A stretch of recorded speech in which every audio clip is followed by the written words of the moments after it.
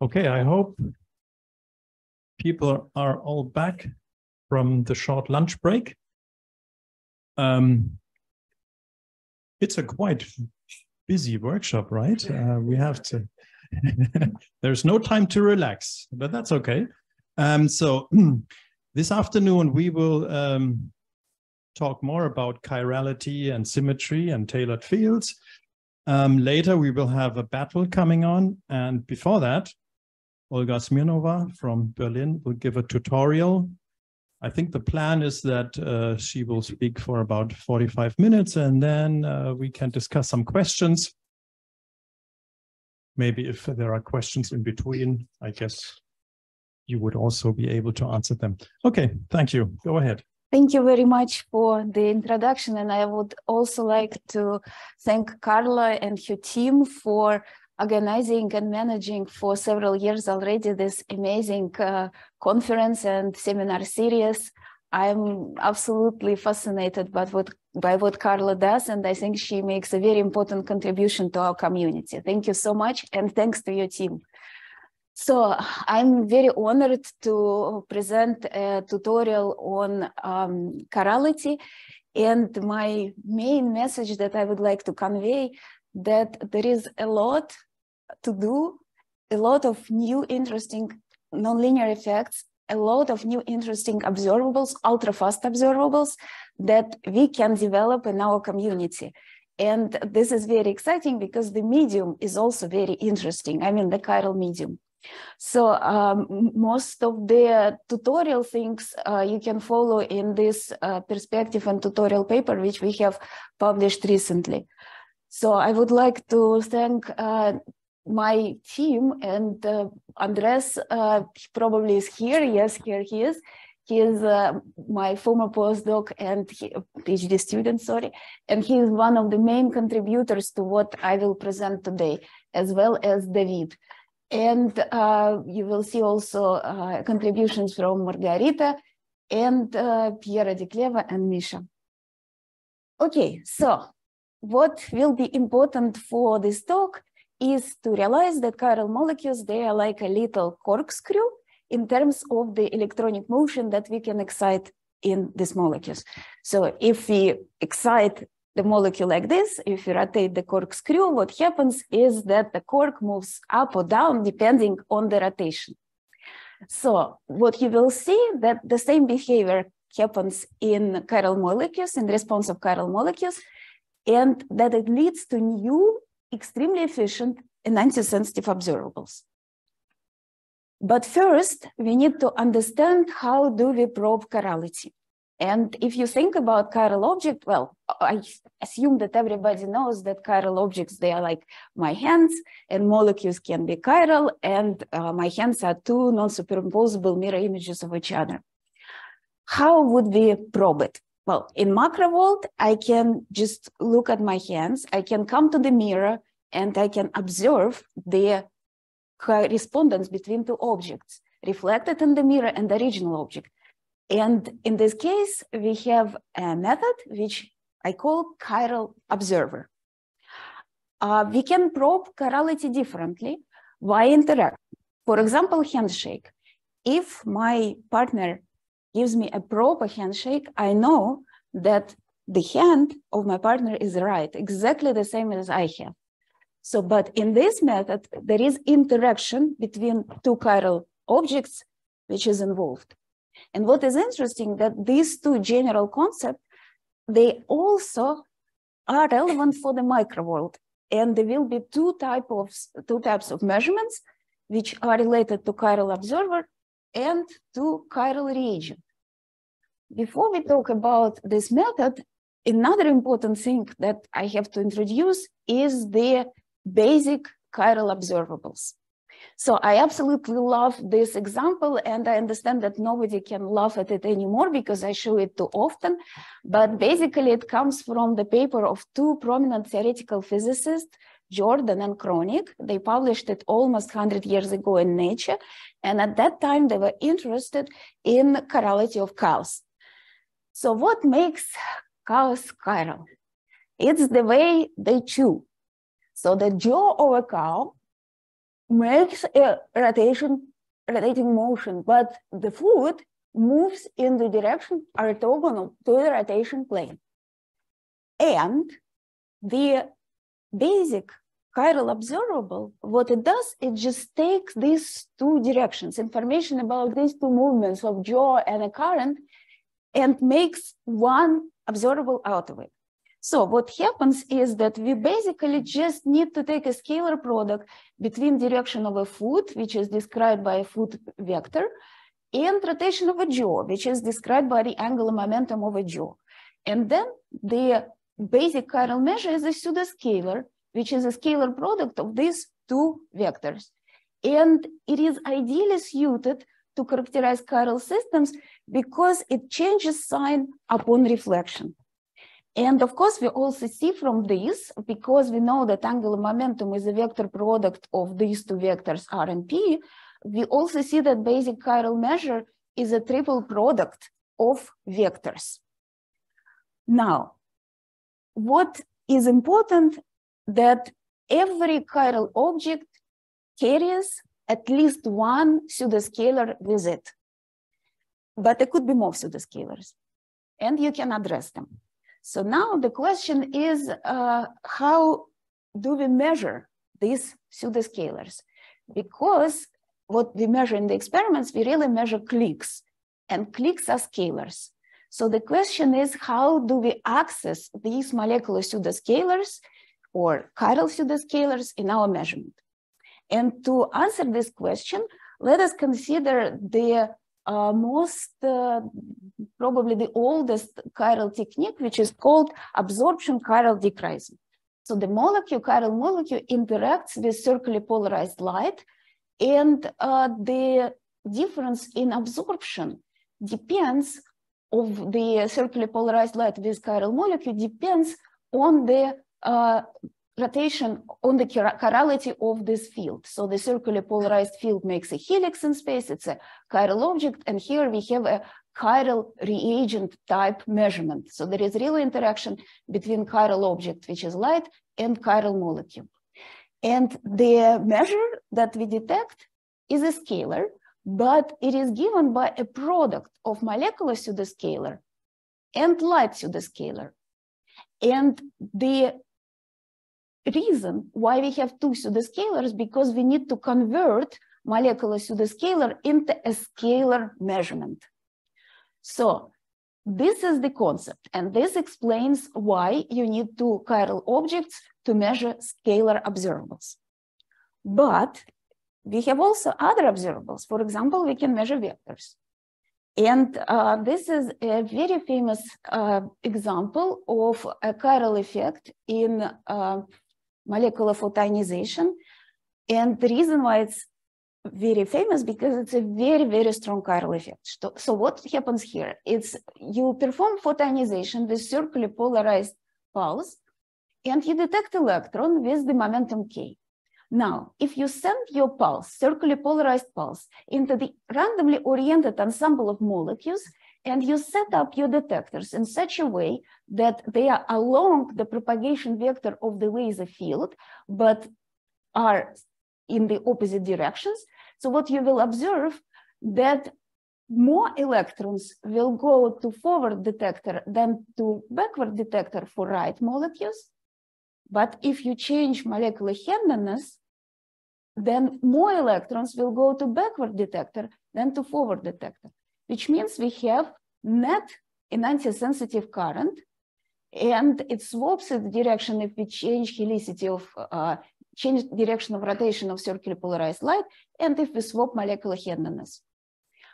What is important for us now is that we measure vectorial observable, we measure current. And uh, if we measure a vector and we want to hide molecular pseudoscalar into our measurement, obviously we need to multiply it by the pseudo vector. And in the interaction of molecule with light, the pseudo vectors actually can come from light. And uh, this is precisely what happens in uh, this PECD effect. You have a polarization of the laser field, circularly polarized field, which determines a plane, oriented plane, and then you supplement your setup with two electrons. In the end, you have a defined a chiral coordinate system. But this chiral coordinate system is a composite system. None of this object is chiral by itself. Here we look at light in the electric dipole approximation, and it is really not chiral. And the detector is also not chiral, but the combination gives us the that gives us the coordinate system in which we can measure chirality. Now, what you can then, once you measure your vector, again, look at the click. It's a projection of this vector on the detector axis Z. And what you have that you again, for the click, you again have a product of molecular pseudoscalar times light pseudo, sorry, times setup pseudoscalar. And what is important that this setup is really composite pseudo, this, this uh, setup pseudoscalar is really composite. It contains from the pseudo vector of light and the vector of a detector.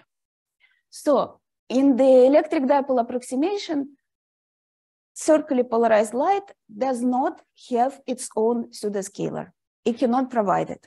But what can happen that it can borrow this uh, additional vector to form the setup pseudoscalar from two basically parts of non-chiral systems.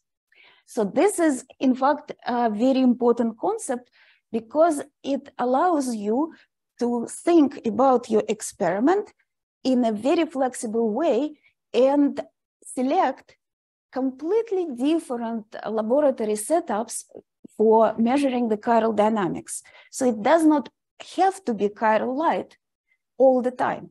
It can be very nice setting in which you measure fragments, electrons, three vectors. Okay, so now that is our challenge. The challenge for us is that standard circularly polarized pulse, uh, circularly polarized field, which traces helix in space, and this is a chiral structure. It's very hard to apply it to detecting chiral molecules simply because the scale of molecular chirality is much smaller than the scale of the uh, chirality of light. And that is particularly challenging for ultra-fast measurements. So um, what I'm going to uh, talk now, I'm going to give you an example of an efficient reagent, which is the um, light, which can interact, which is chiral in electric dipole approximation. So the solution for this uh, trouble that we have here is one of the solutions is to go away from the inefficient chiral reagent and we can substitute it by two various uh, concepts. One would be chiral observer, and it works in the electric dipole approximation, and the other efficient chiral reagent. And the idea here is really to change a way in which you encode chirality in light. You encode it not in the spatial uh, profile, but you encode it in the subcycle trajectory. So, and um, we start with this. And uh, this is the solution that we have come up with uh, David, uh, Andres, and Ofer, who is here, and Oren Cohen. So the concept is the following. So our trouble is that if we look at the circularly polarized light at a given point locally for the molecule, then of course it represents a planar circle. And uh, because of that, the chiral dichroism is extremely small. So the idea is to take this circle and bend it into a three-dimensional chiral shape, chiral Lissajous figure. And you can do this combining light of several colors. And then what happens is that electric field vector traces a chiral trajectory within one cycle and the electrons in the molecule can feel the pull from this three-dimensional field basically locally. Now, how to characterize this light? Of course, when we introduced this light, it was not clear how to characterize it. And we took inspiration from chiral chaos. So I told you that we can use this uh, triple product of uh, vectors. And this is exactly what I what we did. We took the what about we trace this trajectory in time? We take the snapshot of the electric field polarization vector in three successive moments of time, and we form a triple product, just like it is shown here. If this triple product is non-zero, it means that the electric field vector traced really chiral trajectory. Now, what would you require is that this trajectory remains chiral on the average of uh, one period, so of the, of the cycle. And then if you go to Fourier domain, then the condition for that is very simple. You need to have three colors in your field, and they should have non-collinear uh, directions. So the polarizations at these different frequencies should be non-collinear. Um, but uh, what is also interesting about this measure that it turns out that it actually also characterizes the strengths of enantiosensitive interaction of light with matter in electric dipole approximation. And um, what happens is that the, you can also build higher orders of this correlation function, and you will discover that each order of this function describes the enantiosensitivity sensitivity of a given multi-photon pathway. So you can have, um, you can characterize the enantiosensitivity sensitivity of every multi-photon pathway basically separately. So uh, this light is also possible to do. And because you need a combination of, basically because you need uh, the electric vector of the field to trace three-dimensional chiral shape, of course, you need a non-collinear configuration of pulses in which you will then have all polarizations present in all 3D. So uh, I will not uh, describe the setup. You probably heard about it before. What I want to say that uh, we have absolutely fantastic preliminary news that in 2023, this has been realized in the lab by Rose, David, Mary, and John. And uh, this is very exciting. And after that, of course, laser broke. So now, once we have realized that we can control the handedness of the light locally, why don't we ask a question if we cannot, if we can control it globally? For example, we could structure the handedness of light in space in principle at our will. So what I show here in the slide, I illustrate how you can structure it. So if just one rotation like this uh, presents a dancing figure, basically a specific Lissajous figure, then you can construct a dancing pattern. So alternating uh, areas in space where you have local chirality, uh, positive or negative. And uh, then what's going to happen? So what's going to happen in the near field that every parametric process will be modulated, there will be a phase modulation of the any parametric process uh, with this phase. And so the emitters in this part and in this part will be exactly out of phase, which means you modulate your signal in space, uh, space of the signal. So we know what are the far field consequences of such phase modulation. And this is what you see here. Basically, what you get, you get the bending of light uh, so what you see here is a result for high harmonic generation uh, on fenchone, uh, on propylene oxide for harmonic 12. And if the light, this light with this structure interacts, so on the horizontal axis is the transversal coordinate, and uh, what you see on the vertical axis is the correlation function of light, which characterizes its handedness and its interaction with matter. And because correlation function changes sign here from this to this, so does the response in the overall medium.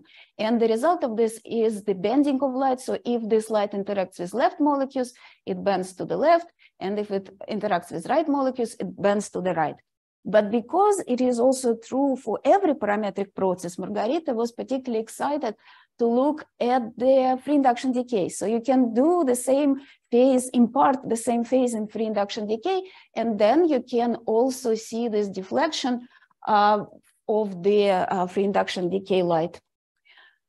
So, but next idea would be that once we managed to uh, modulate handedness uh, in one dimension, why don't we think about modulating handedness in two dimensions, and in particular connect topological and chiral properties of light. And uh, topological properties are global and chiral properties are local. And this can be done by combining uh, local chirality, combining locally chiral field these uh, vortex beams. And vortex beams are the topological objects. And to realize this, we use um, tightly focused uh, counter-rotating omega plus 2 omega vortex beams, such that omega has the angular momentum of 1, 2 omega has angular momentum minus 1. And because they are tightly focused, of course, they develop longitudinal component because of the uh, confinement in transverse direction. And then you have locally chiral Lissajous figure of this light, but you also have uh, global topological features. And how these topological features manifest itself. So if you look at the intensity of your beam, it will be like this, a donut shape.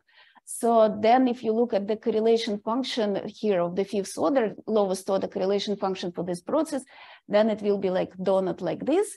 Um, in meaning that within this donut you have a chiral light. But most interesting part happens in the argument of this function. And if you plot the argument, you will see that the phase of this correlation function changes from zero to pi six times as we go along this uh, vortex point.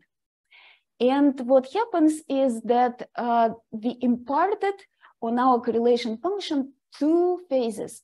One is global, topological, and you see it is um, depend it depends on the azimuthal angle and it's controlled by so-called topological charge. So this number that we have six um, six time change of the phase, uh, this is precisely due to this topological number.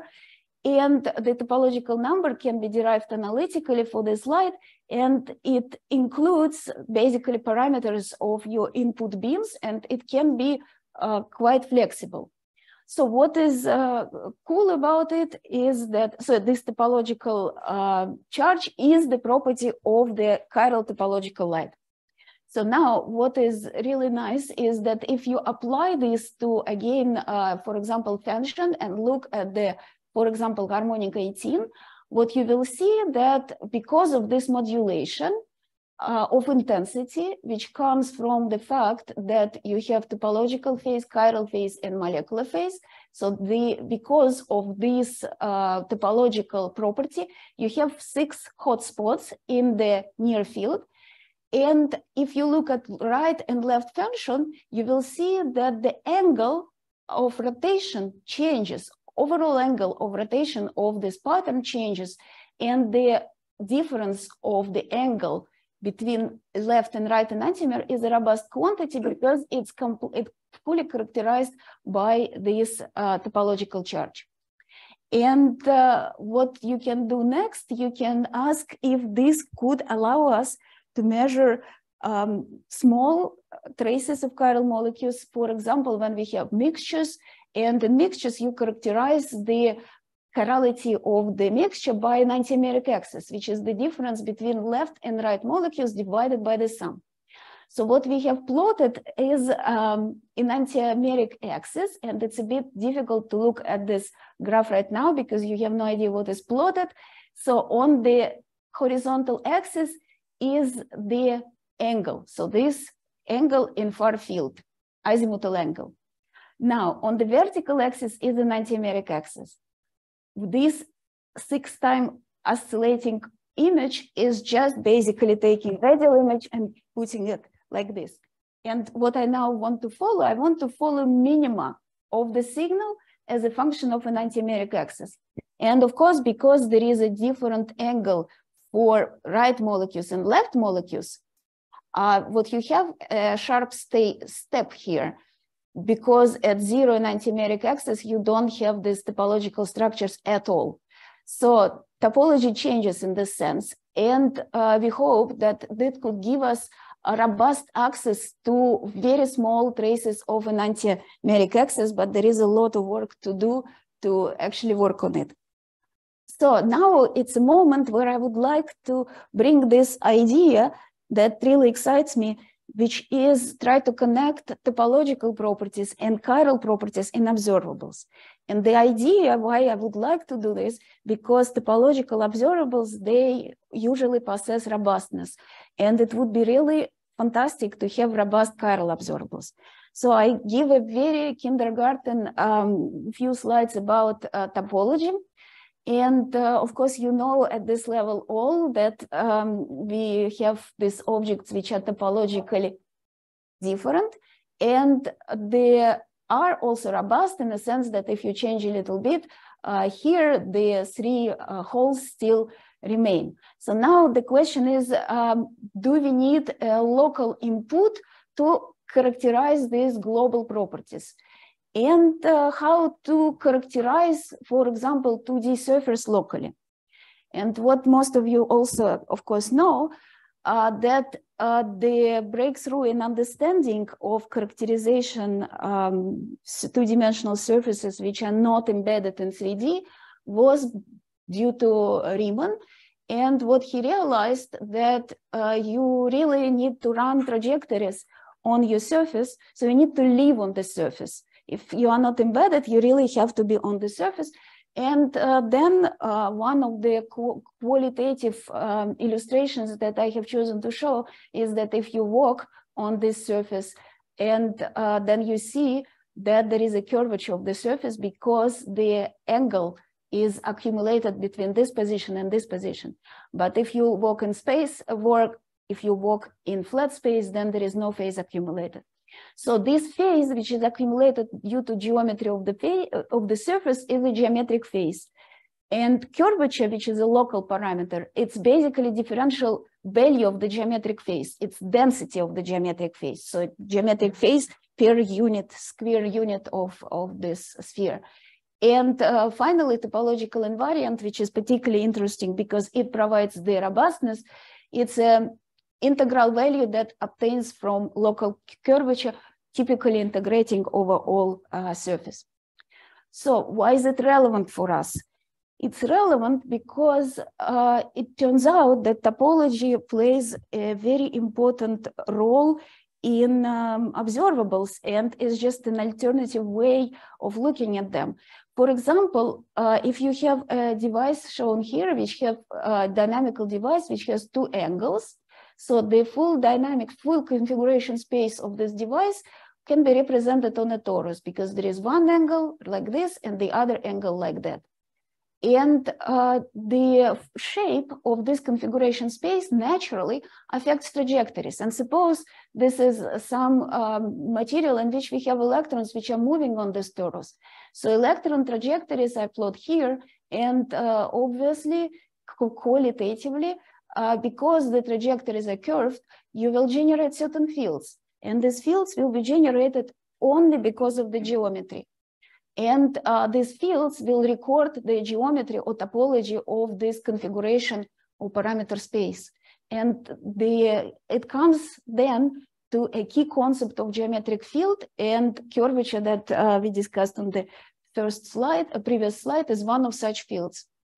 And uh, what is also known that this curvature has been extremely useful in um, solid state um, in solid state science because it allowed uh, to introduce the new phases of materials which are topological phases and it also allowed to obtain new types of observables which are topologically robust observables.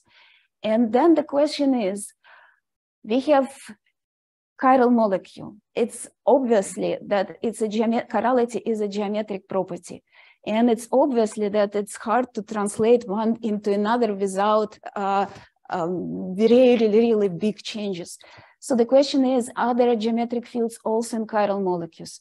And if they are, can it lead to enantiosensitive observables, new enantiosensitive observables, which critically depends on these geometric fields.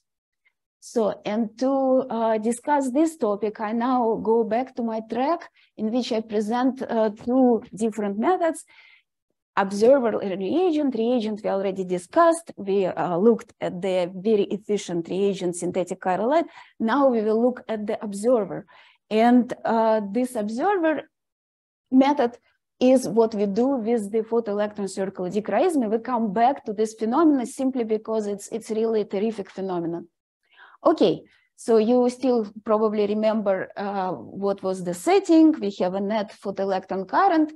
And uh, what um, we discovered that actually this uh, photoelectron current which is uh, famous because it's a very strong uh, chiral observable in outside of the uh, within the electric dipole approximation the signal can be 60% of the total signal so it was one of a kind but what we realized that it's not really one of a kind there is an entire iceberg of other observables which are partially not known partially known and uh, this iceberg basically is all defined by a geometric field.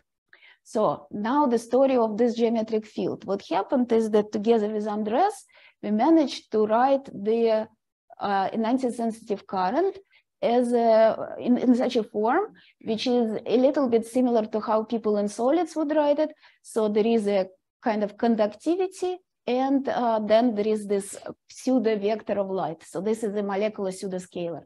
So this molecular pseudoscalar turned out to be a flux of a certain field. And the field is given by the vector product of two photoionization dipoles.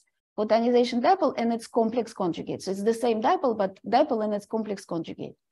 Now, the parameter of this field is the photoelectron momentum, and the flux is really in the momentum space through the sphere, which presents the energy shell for the electron. So now what we have obtained very recently is that uh, it turns out that this geometric field uh, is related to completely rigorously mathematically related to Berry curvature. And the Berry curvature actually appears because of the decoupling electronic and rotational degrees of freedom in molecules. And there is also associated Berry phase, which is observable because it's mathematically equivalent to enantiosensitive part of photoionization yield. Then you get results like this and you know a little bit follow what happens in solids. You say, oh, wow, maybe we can, can get quantized enantiosensitive observables. I will not uh, present any of that because we have not done this, but this is the hope. But what I tell you is that this Berry curvature, this realization that it can um, emerge and also understanding what are its symmetry properties allows us to establish new observables which were not known before. So it's not just a mathematical uh, object for the pleasure of theorists who love this object. Well, I'm not going to pretend I don't love it, but um, it's really useful, as Hugo also pointed out about his uh, pet. So now uh, what is important is that if we start ionization from a real state, then this Berry curvature is equal to zero. And uh, in this case, you cannot make use of anything obviously related to this Berry curvature.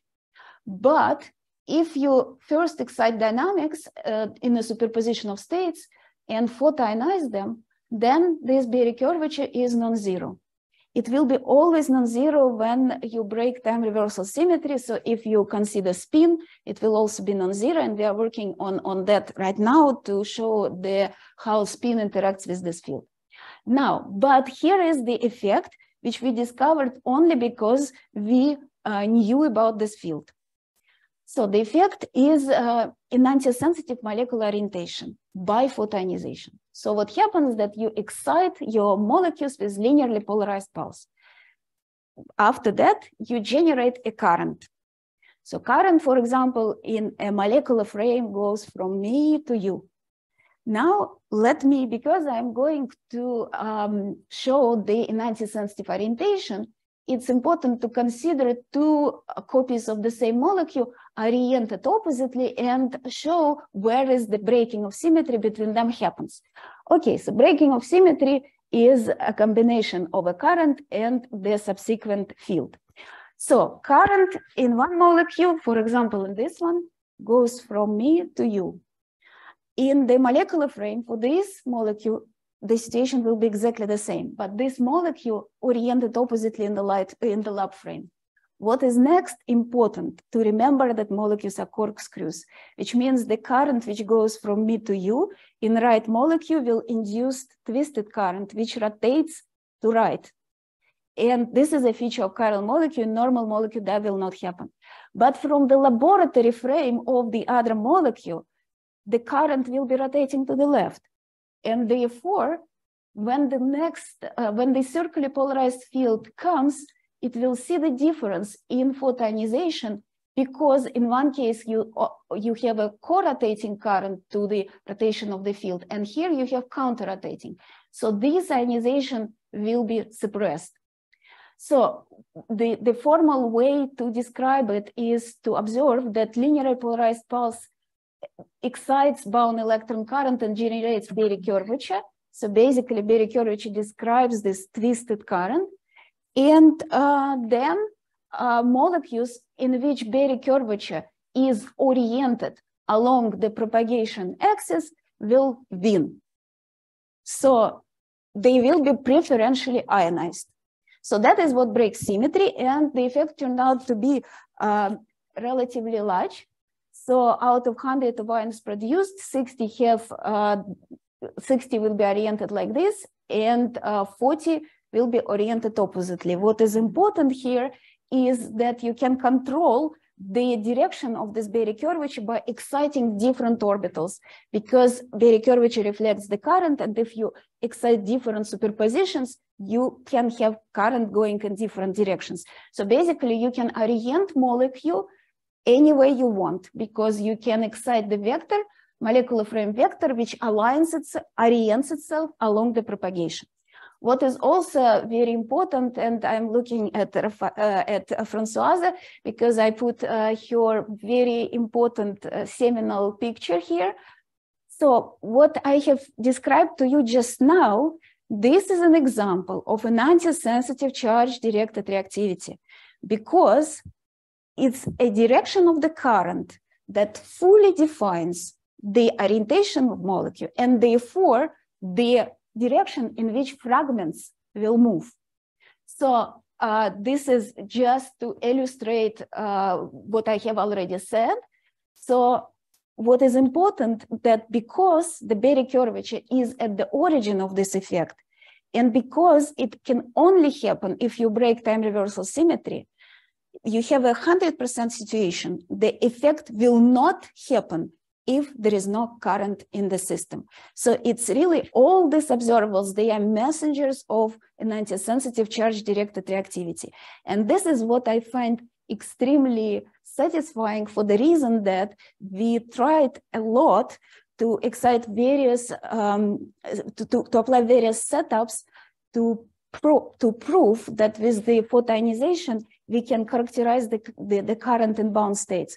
But whenever you do this, you always get both quadratures of the oscillating signal, one which oscillates with sine and the other which oscillates with, with cosine and is signal is not zero if there is no current. So here is a situation when you will surely have signal only when you have current.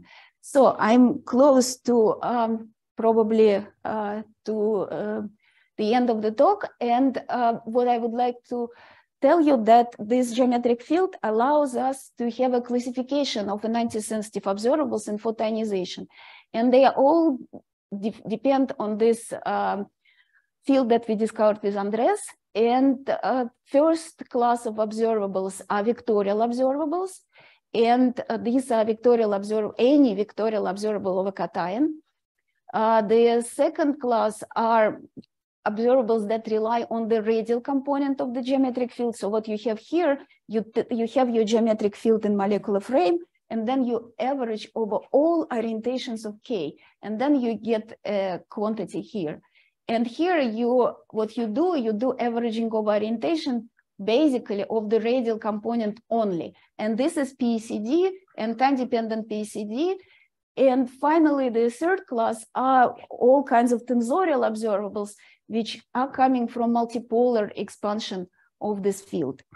So um, we have recently measured one of this observable, which was also predicted earlier than us by Philipp Demekhin and uh, Thomas Baumert. So we, we had a proposal at Fermi and we measured this observable. I probably do not have time to go through it, but you can ask me um, later questions. And what I would like to say in the end of my talk is really to give a tribute to the community because we have an absolutely amazing community which came up with many new methods just over a, say, decade maybe.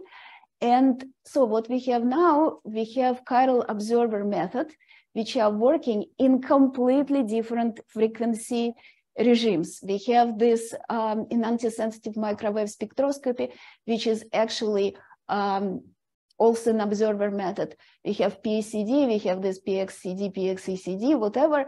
So the important property, chiral observer is defined by configuration of non-chiral electromagnetic fields and detectors. And this enables chiral discrimination in all cases. All this technique yield very strong signal and can follow chiral dynamics on various time scales, from electronic to vibronic to rotational. And they all require vectorial observables, such as induced polarization or photoelectron current. Tensorial observables can also be measured. And this is the work, I would like to highlight the work of uh, Philipp Demekhin and Thomas Baumert, as well as uh, Bordeaux-Weizmann collaboration, Sarah Rosen, Yann Mairesse, uh, Valerie Blanchet, Nirit Dudovich. So but finally, I have to also uh, give uh, credit to community in terms of chiral reagent methods. So there is also a family of methods already um, appearing, which share the same origin, the same properties, and the same strong sensitivity. So there is a synthetic chiral light that we developed with David. There is a much earlier paper, which we did not know at all, and we discovered it later, that basically also introduces the synthetic chiral light, but for three colors. The reason we did not go originally with the three color configuration, but did two color configuration because the three color configuration cannot maintain global handedness. Okay, I would also like to point out this very interesting work which tries to connect uh, chirality and topology.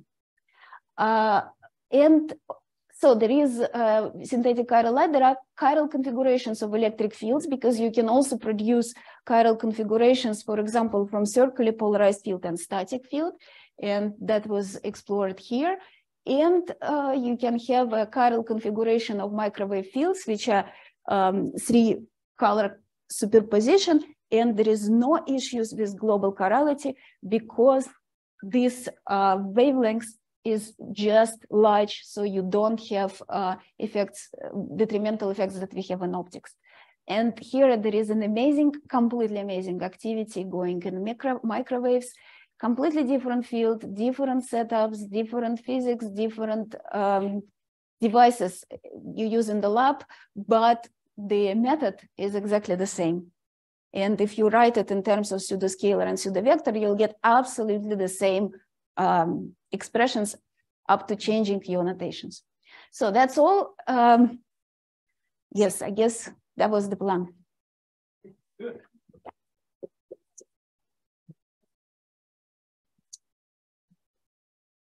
Uh, so we're going to have five minutes break, just that we can set the people up, but it will be very short and then we can, ah, sorry, Right, so, But, but first we, we will take Question. some questions and, and then we'll have a break, right? yes, apologies.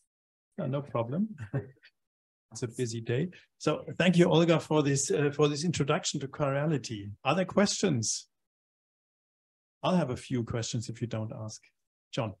Ah, not, not really a question, uh, a comment. I really love the talk and it's really fascinating. And I think this is really amazing technological as well as scientific opportunities emerging.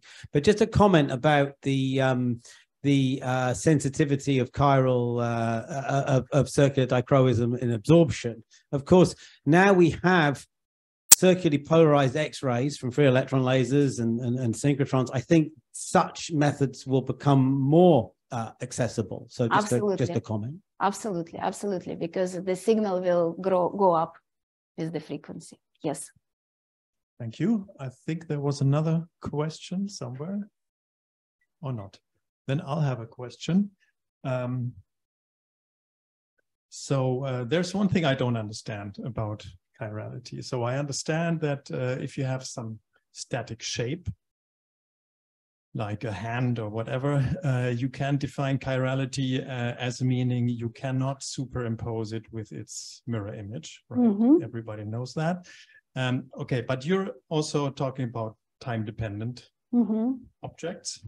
And uh, for example, you showed this correlation uh, function uh, that you say is the quantity that measures chirality. So I was wondering, what is actually the definition of a time-dependent uh, object? What makes it chiral? Is there something simple like superposing it with its mirror image or not? Yes. So basically, Ofer, who is sitting here, uh, together with Oren, they introduced dynamical symmetries to characterize uh, chirality in this case. So uh, you can introduce basically symmetries in time to, to, to reflect the fact that you have time evolution and if you change direction of rotation, for example, in, in this uh, light that I have shown in this one, it changes the chirality. So it's an extended set of symmetries that you uh, describe. And within the set, you look at the symmetries, for example, changing, shifting your pulse in time by half a period shifting your pulse, you know, like symmetries of rotation, you always consider like what would be half of rotation, what will do to my system. And then I define, if it's the same, I define a group and so on and so forth. So you do exact same, but just consider time as the additional kind of parameter or axis, something like this. So it's rigorously possible. Okay, thank you. Robert. I have a maybe a stupid question. You explained nicely that you discuss all work in the dipole approximation, describe the laser electric field, and then it came into my, into my mind that there is also a laser magnetic field. And that they, these, these breaks, for example, the forward backward uh, uh, symmetry absolutely. linear polarized light absolutely. so kind of, uh, so the the effects which are is this negligible? Is yes this, it's very small. not important so this or? is this thing precisely this curse so this thing. So the helix has such shape because it's non-local and magnetic field is basically completely due to non-locality. So if we want to introduce magnetic field into our equations, all we need is to consider non-local response. So the non-locality, which we have here, because of which we have chirality, it's fully determined by the magnetic field and its and its interaction with matter. But, but because matter responds to magnetic field weakly, so if you consider this the, uh, the PECD effect, which can be 60%, well, the effects from magnetic field will be kind of like this. But nevertheless, there are experiments which uh, look, yeah, so there is important difference. The PECD is observer method. So you can measure vectors, but total yield will not be affected. The chiral light it has a pseudoscalar. So it is a reagent method, which means that if you would look at ionization and extend it to magnetic field, you will see different yields of ions. So these experiments has been have been done in the lab of um, Karl-Michael Weitzel in uh, Marburg. So he, for a very long time, he invested really a lot of time in these investigations, and they are very interesting. And sometimes he see large effects uh, for very long nanosecond pulses, and and I think there are still some puzzles uh, in in this.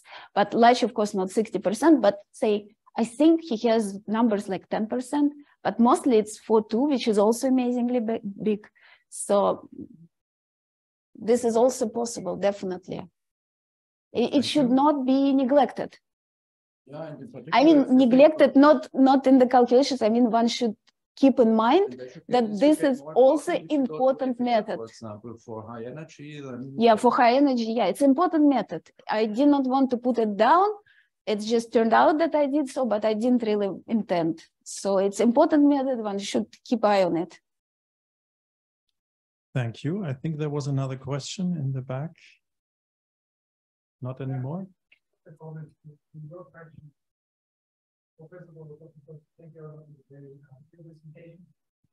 But so you were asking about like we have hands and then how we know that of course we cannot superpose the right hand on the left.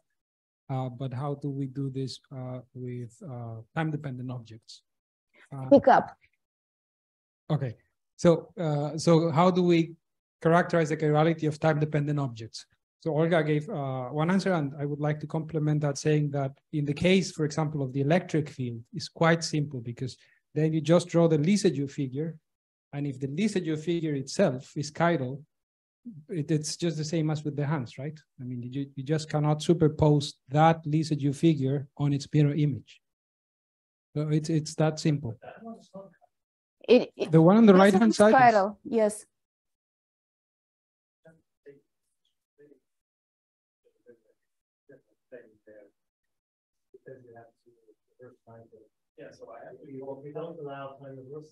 Yeah, yeah, absolutely. But uh, but time goes forward in in the experiments. I mean, yeah, no, no. I mean, the Lissajous yeah, of course. I mean, it, in that sense, that's the color in that in that Lissajous figure. Yeah, so you have to take into account the color as well. Yeah, absolutely. Okay, thank you. More questions?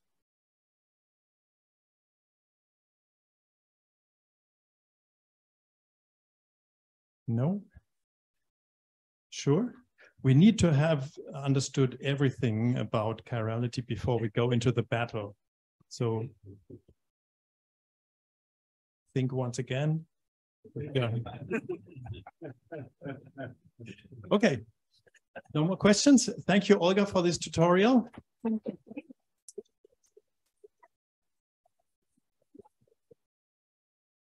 And now we'll have a five minute break uh, to set up the battle that will be coming.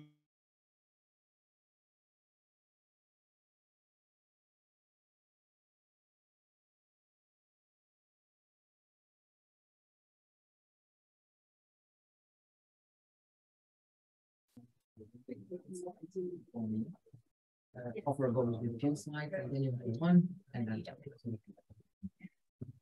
Yes. Okay.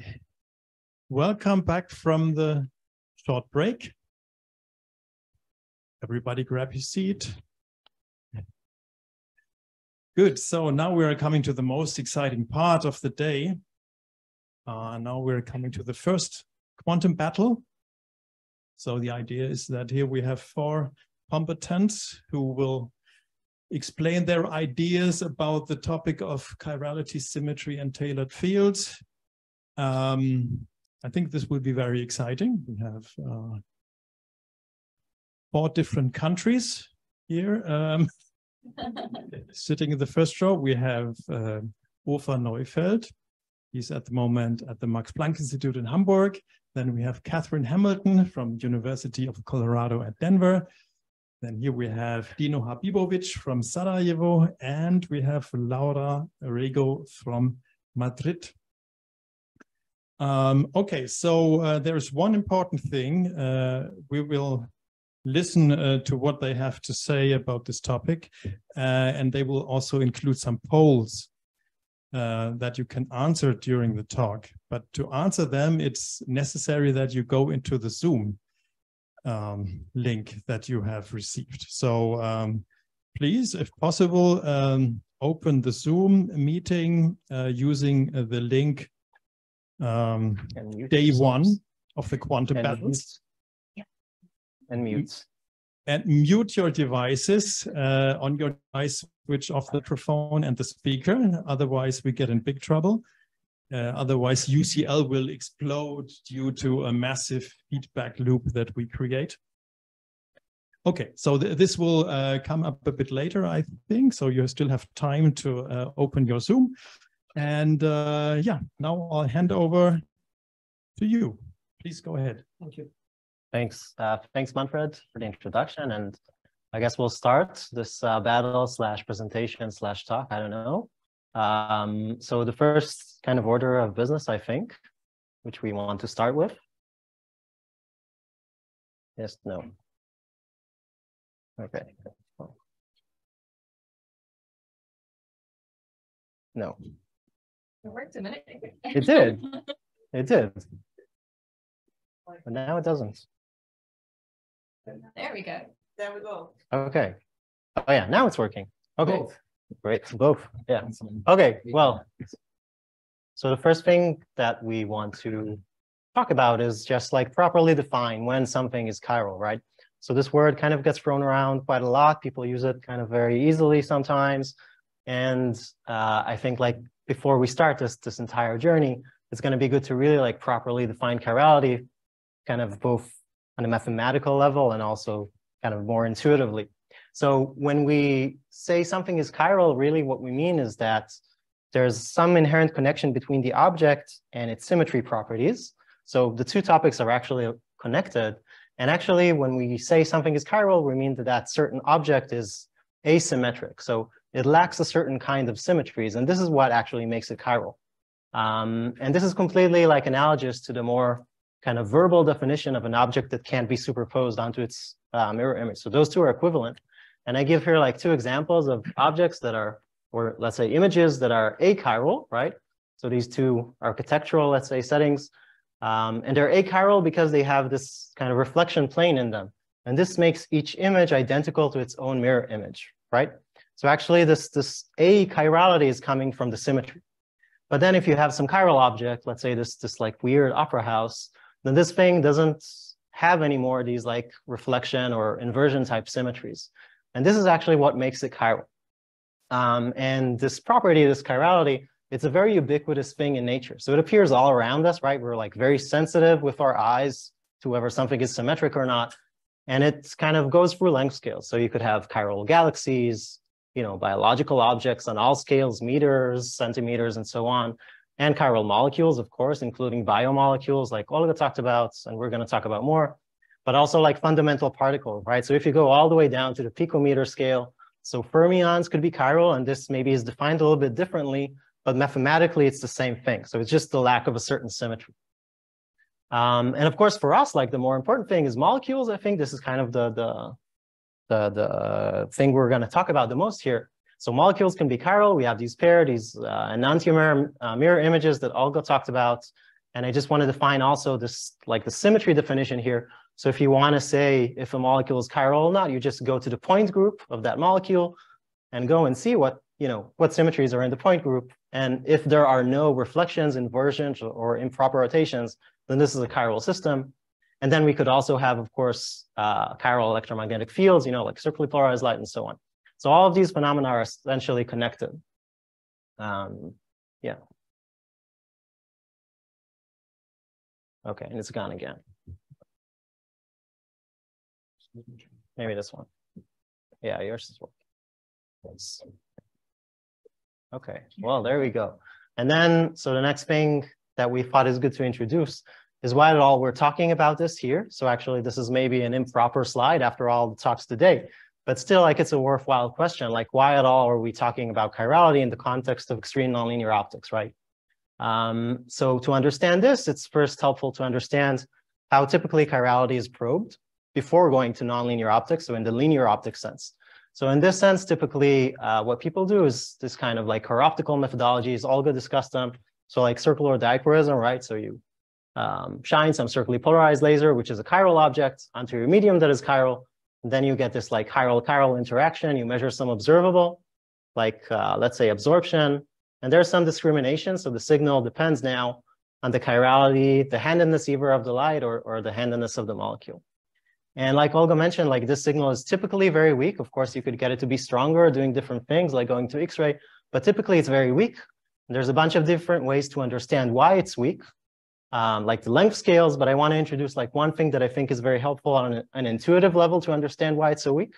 So typically the strongest like light matter interaction that we have is the dipole uh, like the electric dipole response, right?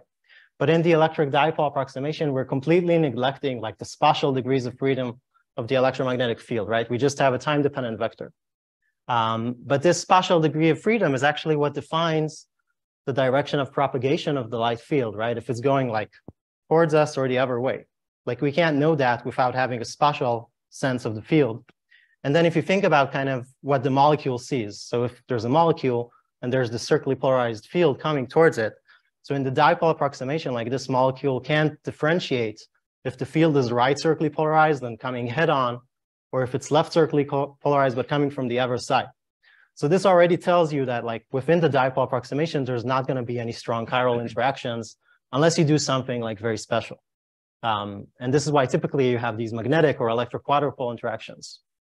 But then, so in, in the nonlinear kind of regime, so this is why, you know, why we're talking about this in the extreme nonlinear regime, we can get like basically much larger signals. So we can have much larger signals. We get more data because we're recording like wider broad range spectra.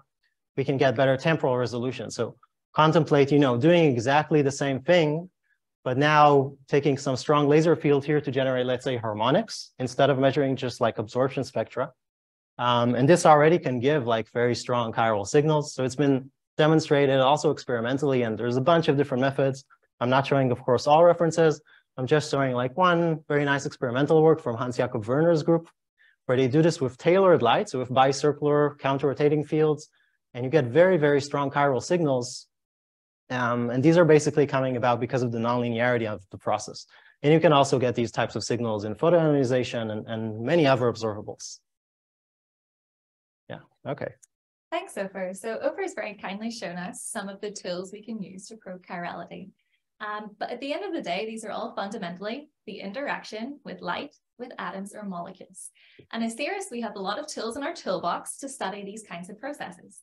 And this is where I might accidentally start a battle. So I'm trying to be as general as possible here when I mention some of these methods. But these are things like perturbation theory, the single active electron approach, strong field approximation, or multi-electron methods. And each of them perhaps has their own range of applicability or their own positives or um, negatives when we go to apply them to a particular process.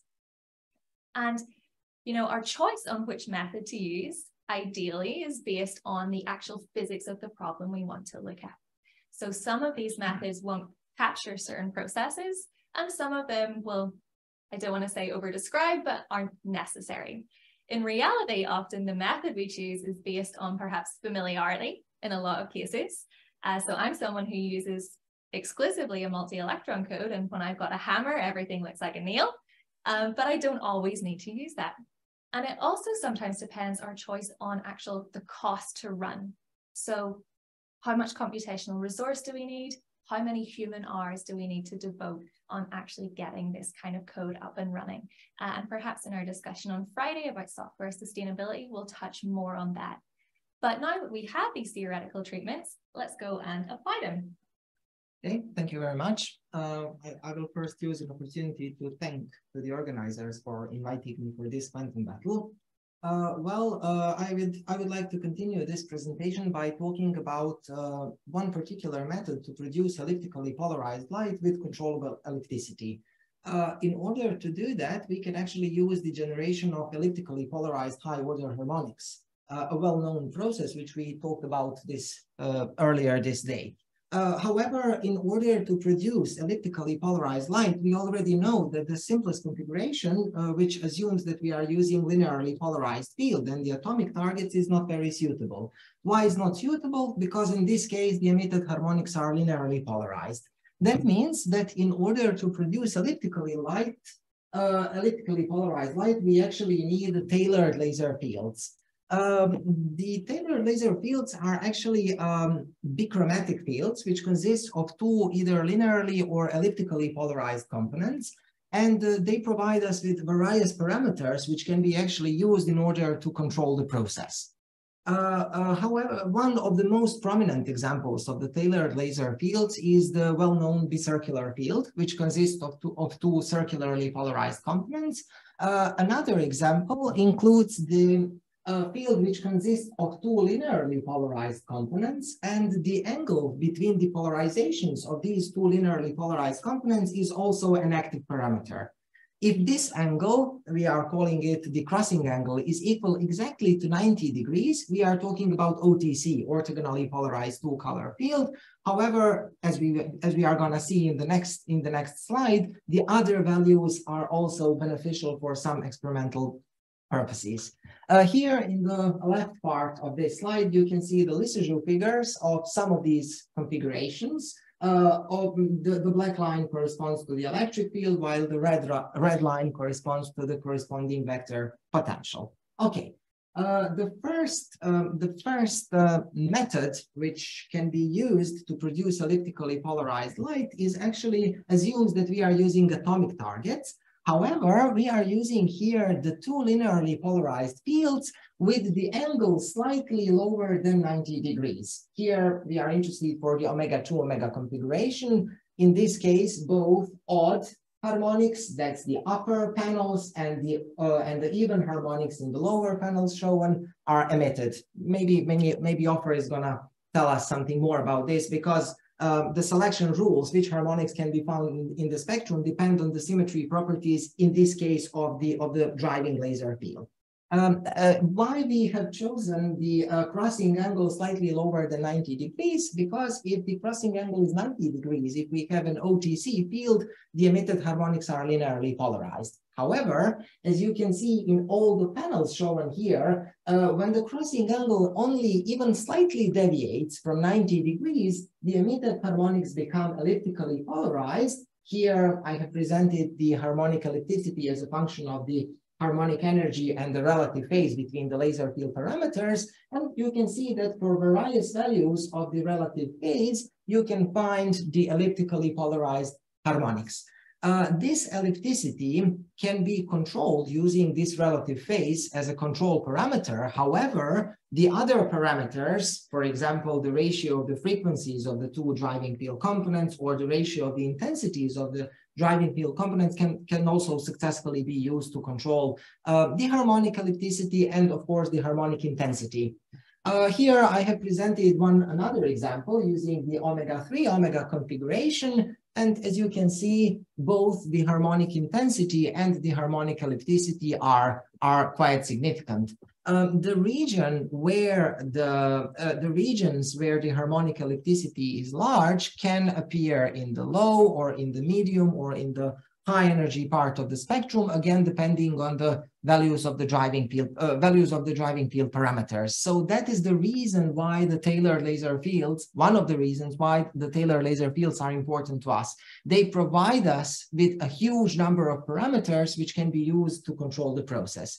Of course, um, we have to mention that uh, instead of the uh, configuration which consists of two linearly polarized components, we can also use the, uh, the configuration with the elliptically polarized components. But, uh, you know, sometimes, um, at least in my opinion, when we have too many, sometimes less is more. When we have too many parameters, it can be quite difficult and quite challenging to find exact values of these parameters which, which suits our, our, our needs.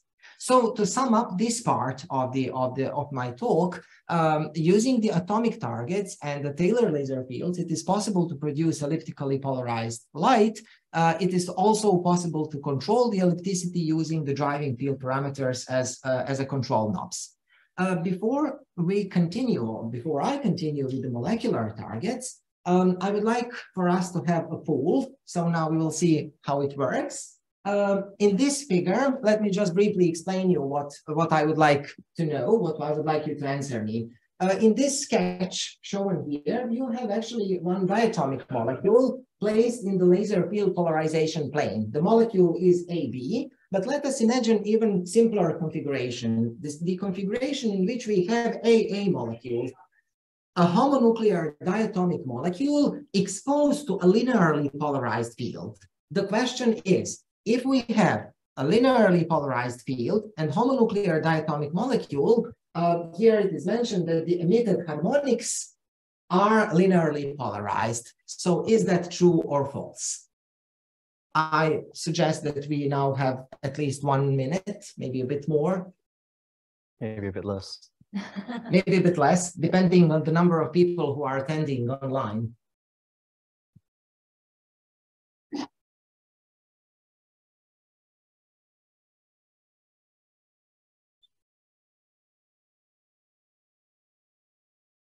Wow. Yeah. This is, Something. this is this peer, joke. peer pressure. This is what I think.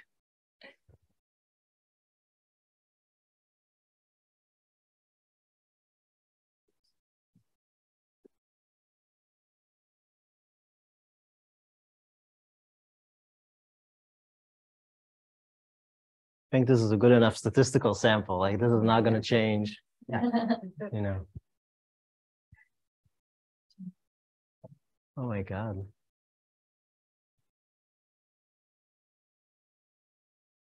Yes, I think we can stop the poll. Yes. Yeah.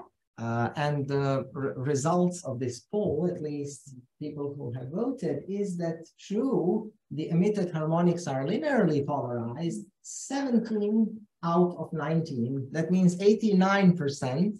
And only two people, 11%, said that they are not linearly polarized. Uh, unfortunately, the correct answer is false. The emitted harmonics are I, I, I didn't, I really didn't expect it.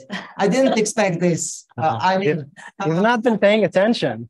I mean, when we are using, there is actually, let me just mention one paper, Zhou and the collaborators from the Margaret Murnane's group. There is a nice paper from 2009, uh, a PRL paper in which they uh, experimentally checked using the N2 molecule that the harmonics emitted uh, using when we are using linearly polarized field, but molecular targets, uh, they are always elliptically polarized.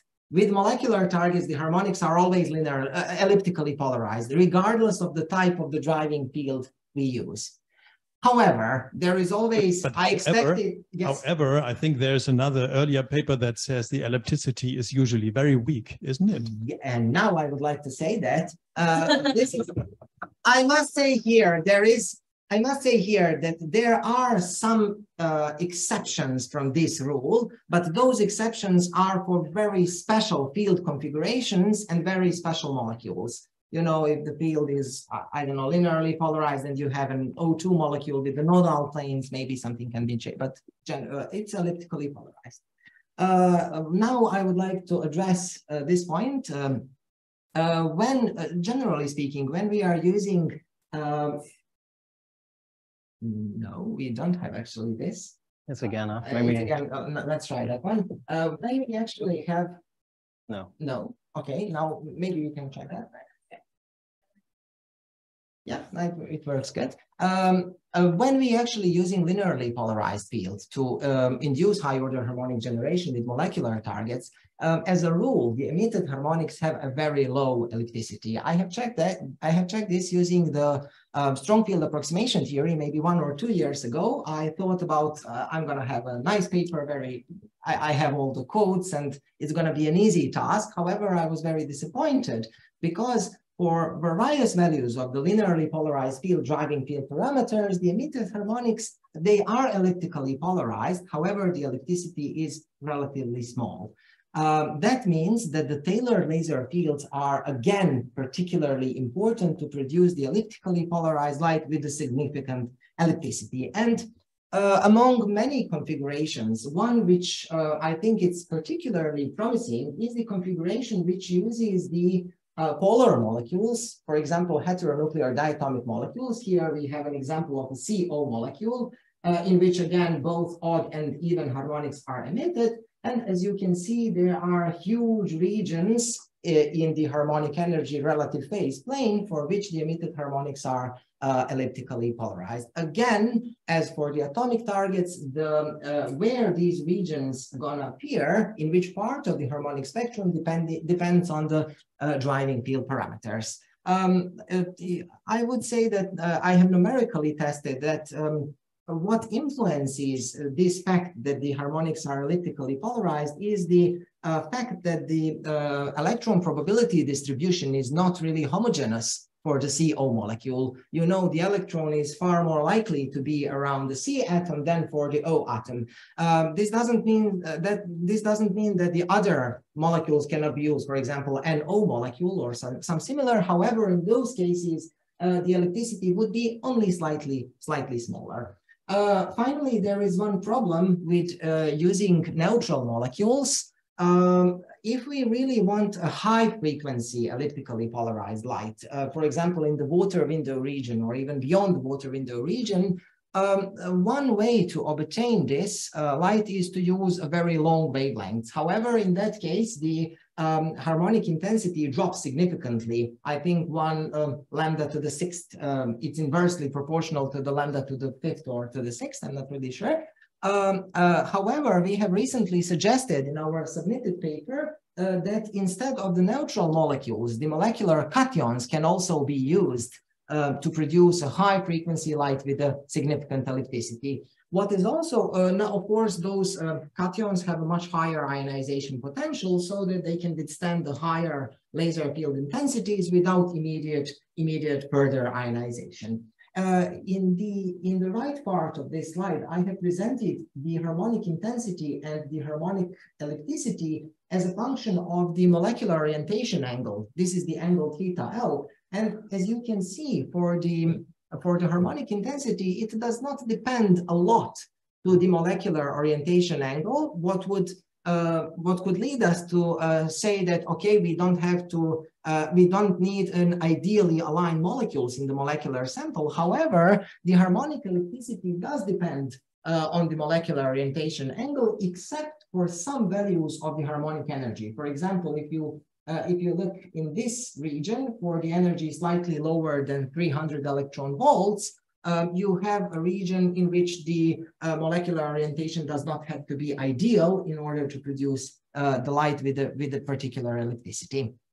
So uh, to sum up, uh, molecules exposed to a tailored laser fields can really successfully be employed uh, to generate elliptically polarized light. If we need a high frequency light with elliptical polarization, a longer wavelengths can be used. That is the one way we can approach the problem, or the molecular cations can also be used to obtain the high frequency light. Now? Yeah, thank you very much, Dino, for talking more about some theoretical treatments for this method. Um, I am going to now have my list of complaints and discuss a little bit how um, treating these processes can be difficult for theory. And Hugo has already very nicely touched on this topic in his talk earlier. And Ofer then will talk about the connection between sort of symmetry and selection rules. Um, but the first thing I want to point out is for certain theoretical methods, actually describing interaction with arbitrarily polarized light can be very difficult, or more precisely, a very computationally demanding task. So when we have arbitrarily polarized light, our uh, total magnetic quantum number is no longer conserved, as it would be with linearly polarized light.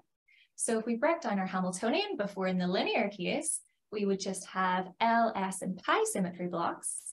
But now for arbitrarily polarized light, we have L, M, L, S, and pi to keep track of as well. And for every L value, we can have 2L plus 1 ML values. So the problem scales very, very quickly.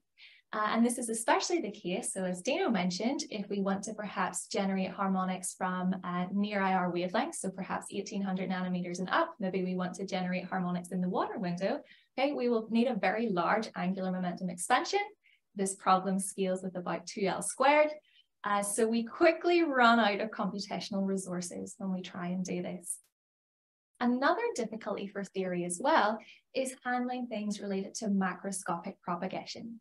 Uh, and I think this could open a more fundamental question about what is the role of theory in the field? Is it to simulate experiments? Is it to do something else? Um, but at the end of the day, you know, if we want to apply both theoretical and experimental treatments to a problem, we need to be able to communicate together, okay? Or describe the same kind of physical process under similar conditions. So if we do our single atom or single molecule calculation, to try and compare with experiment, we'll also have to take into account the fact that the laser intensity profile has a Gaussian distribution. So this could span several orders of magnitude in intensity, but then how many different calculations, different intensities do we need to calculate? Is 10 sufficient? Do we need to do 20? Do we need to do 100? Um, how do we take into account that range of intensities? We also have the problem of propagation through the medium. So while us theorists might all like to assume that our experimental colleagues had a diffuse gas jet, uh, that unfortunately is not always the case. So that it adds in an extra layer, you know, calculating the total bulk response of the medium, taking into account the effect, the fact that atoms or molecules in different locations will experience different electric fields. And also, especially for our molecular colleagues, there is, of course, orientation averaging as well. So our molecules will not all be perfectly aligned or anti-aligned with our laser field. So that's unique calculations to perform for each of those cases as well. Uh, and to give her another shout out, so Linda Hutcheson has a very nicely recently published paper discussing some of these effects of the R matrix with time dependence code. Uh, but our next poll and what I would like to ask you all now is, what is the most important thing, okay, when you're looking to study high harmonic generation? The single atom response or the total macroscopic response?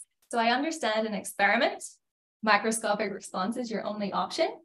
For me, somebody who does single atom calculations, perhaps I think the more interesting physics occurs in the single atom response, okay? Do we really learn anything new about our system by performing the macroscopic propagation other than we need to to compare with our experimental friends. Uh, so go ahead and there's no right or wrong answer for this one. Let's see what the audience thinks. I did add in the fence sitting option that both are equally as important. if you want to maintain your friendships, you can go for that one.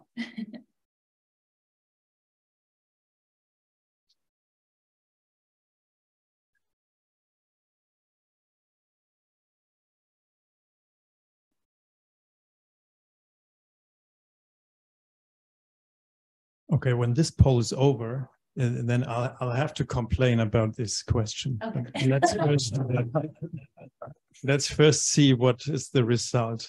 I'll prepare myself. No, I will not complain about the question. I will complain about the answers. It has stabilized. Okay, so then I think we're done. stop it. Yeah, I shouldn't have added in that option. No, so we have a tie between both are equally as important and the single atom or molecular response. So Manfred, what's your comment? So, okay, my, my comment is, I mean, as a physicist, how is it possible to vote for answer three in this case? If I ask you this question, draw a random number between zero and one, what is the probability that you will hit exactly 0.5, right? What would you say? I think the chance is not very high. So um, Get the why would you think that both are equally important? This I, I cannot understand. You have to make up your mind which is more important. So um, This you go for the most correct out of the options. Yeah. Not saying it's correct. Yeah. right, but maybe um, but maybe uh, I should ask. Maybe someone wants to explain why he thinks the single atom uh, response is more relevant or more interesting. Um, so you asked interesting, valuable, or useful. So who wants to argue that a single atom response is more interesting, valuable, or useful?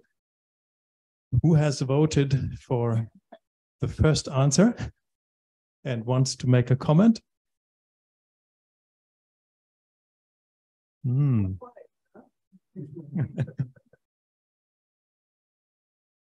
well, let's see. Um, does anybody want to defend answer number two?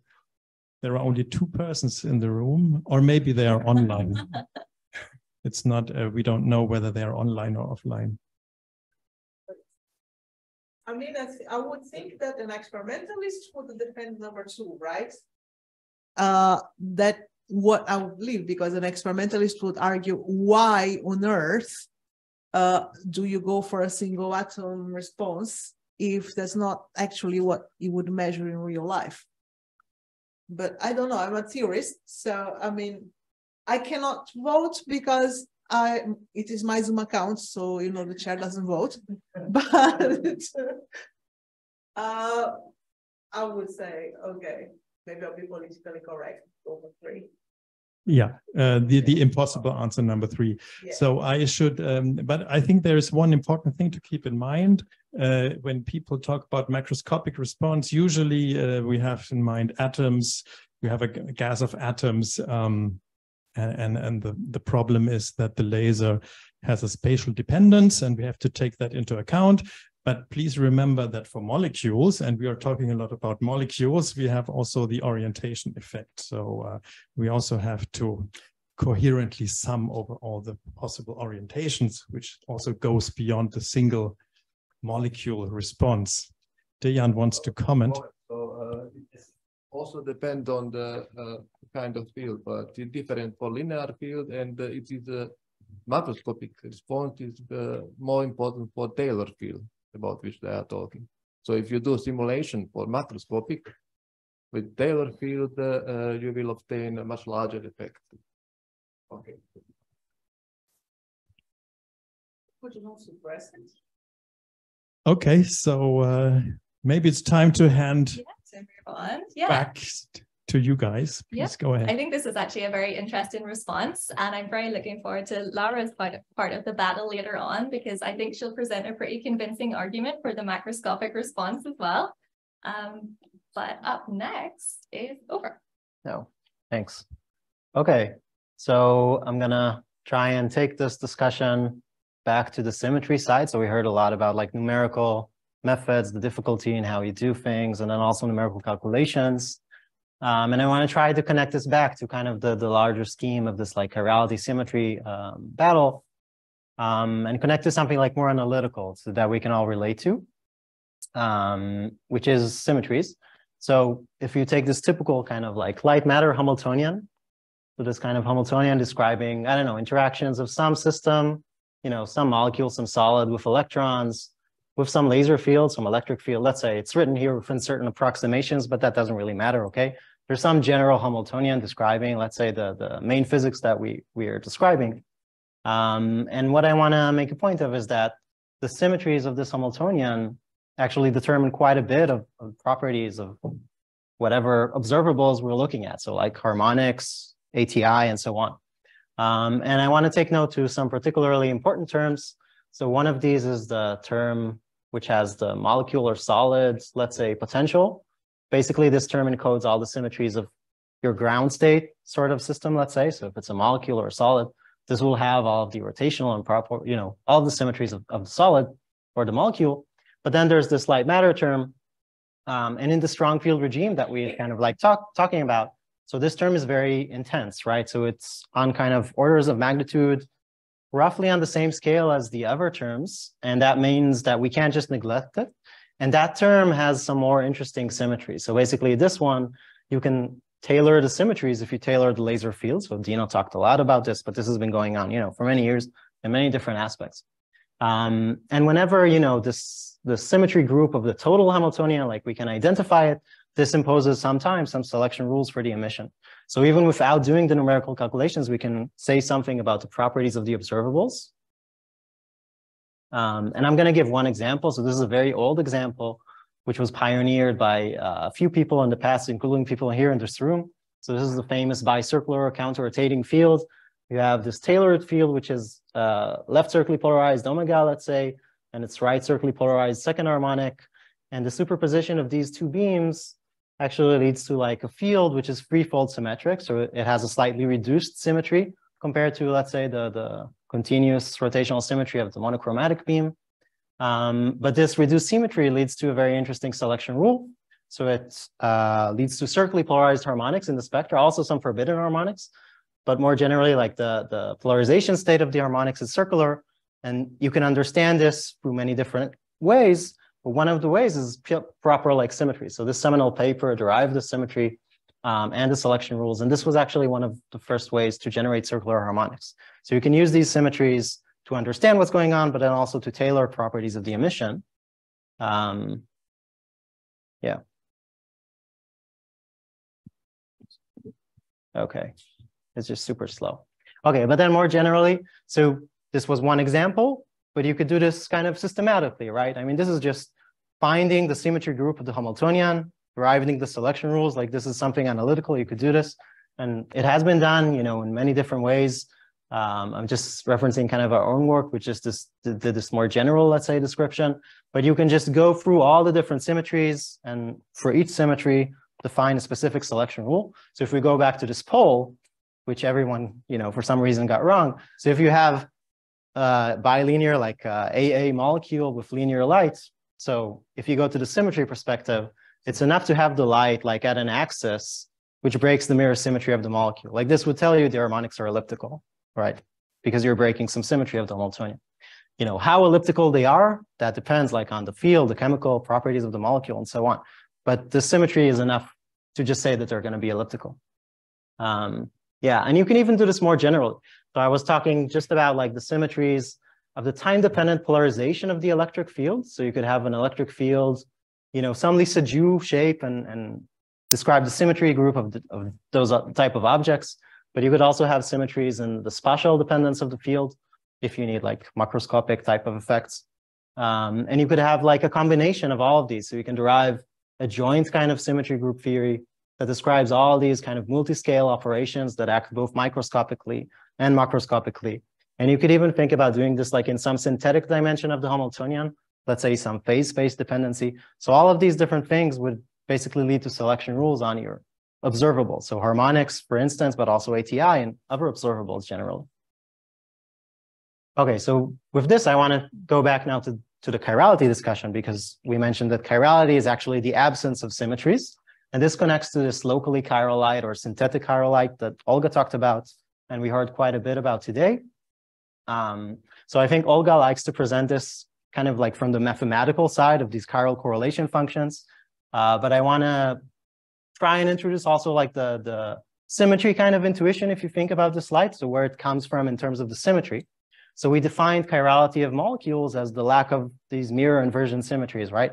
So if you think about this locally chiral lights, so you can also kind of impose exactly the same definition. So go back to this big table of all the different possible groups of symmetries of, of your laser field, and then just choose the groups that don't have, you know, mirror inversion improper rotations. But now do this for the more general thing. So like Manfred was talking about. So do this for the time-dependent electromagnetic fields and include also these dynamical types of symmetries with time translation and so on. Um, and make sure that those aren't in there as well. And when you do that, you get this locally chiral field. So it's a field that has this time-dependent polarization or this Lissajous shape, which is chiral in the sense that it, it is indeed different from its mirror image. So you can superpose these, but you have to take into account the, the dynamical aspect of this thing. Um, and then this is really kind of like an electromagnetic analogy to molecular chirality. So these fields are very useful to probe chiral matter, of course, like Olga discussed. So there's a bunch of different ways you could do this. I just want to give like two other applications that I think are kind of interesting for this discussion. So one is that because this field is locally chiral, so it's chiral within the electric dipole response, um, it's very efficient for basically separating enantiosensitive signals. So you could also think about probing uh, multi-chiral systems, so molecules that have more than one chirality sensor. And, and this is actually what we should all be thinking about because this is what the drug industry really needs. Um, and then an another application is, so we're talking a lot about harmonics, but you could also think about ATI or PECD that Olga talked about. Um, so you could do PECD, but then just replace the standard circularly polarized field that you have with this locally chiral field and ask what that does. So typically this PECD would have a bunch of symmetries that come about from the symmetries of the circularly polarized field. So all these mirror planes in the circular field make this PECD typically um, you know, forward, backward, asymmetric, left, right, up, down, symmetric. So when you use this locally chiral field that generally doesn't have any of these symmetries, you generate this completely asymmetric photoelectron spectra.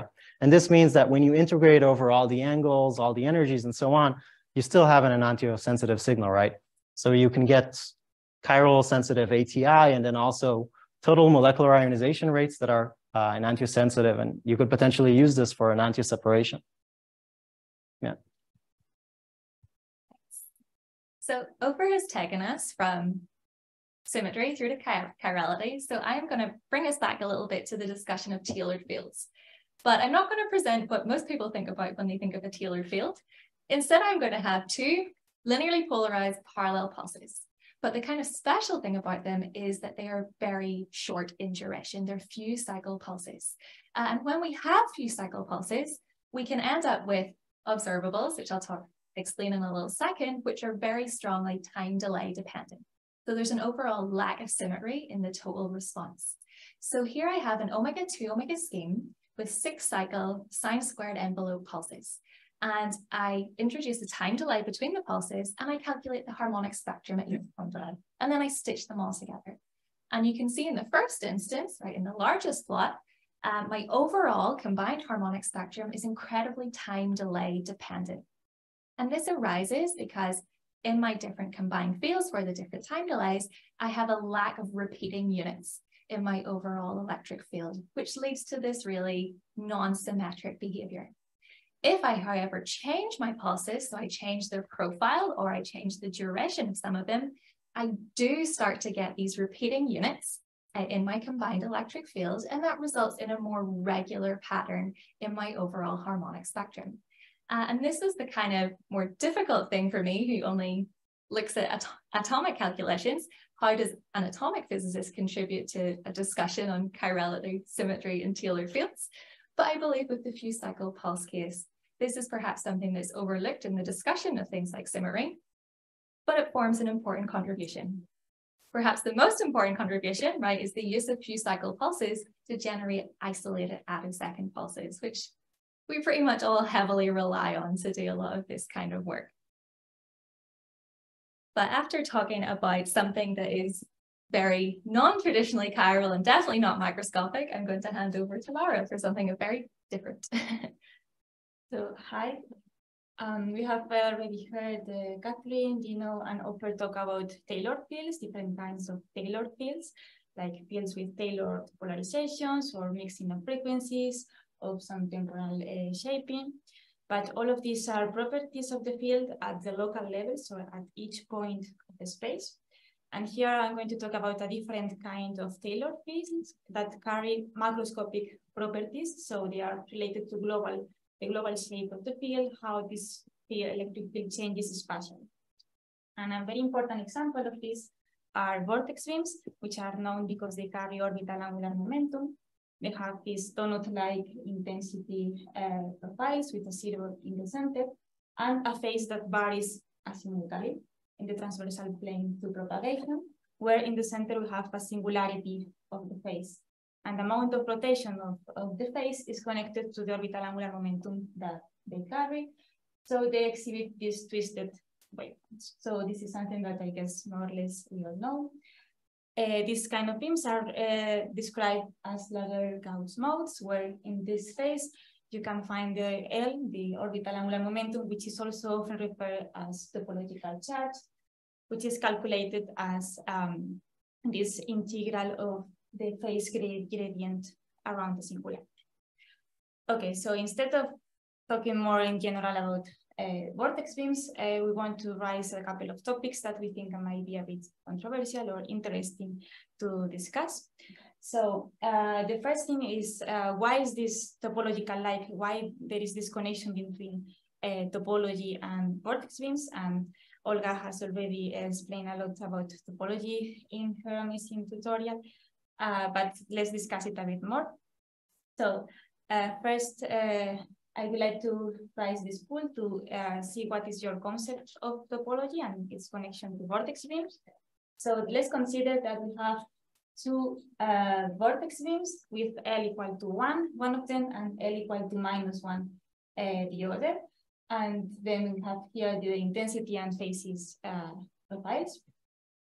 So uh, I write this, uh, I would choose this example because here you can find that we see phase singularities. So if your concept of topology is related to phase singularities, you may think, okay, this is a topological light, but at the same time, we have a total topological charge equal to zero and orbital angular momentum equal to zero. So maybe you can may think that this is not topological because we don't have a total topological charge different from zero.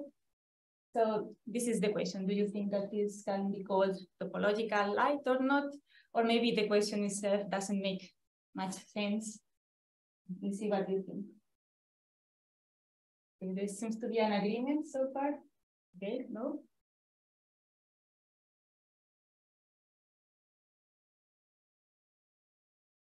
How do you define topological? Sorry? How do you define topological? Because That's the question. Yeah, well, well, we'll discuss a bit more after uh, the pool. But yeah, it's exactly, maybe different people have different views on what. Yeah, because it's a, it's a buzzword in the community, but I've seen a lot of definitions of topological. Mm-hmm. So that's why I'm asking you. I don't know if it's being picked up by the microphone, but how do you define topological? Well, in general, topology is a branch of mathematics that studies the properties of a geometric object that are conserved under certain deformations. So it's like an area of knowledge. So maybe you can call something topological if you can study from that point of, of view and apply topological properties to that and apply this a set of tools that topology has to study that object. But maybe, I don't know, different people have different opinions on, on that. Yeah, this one's pretty Okay, so. Okay, Sam- we can stop the poll probably.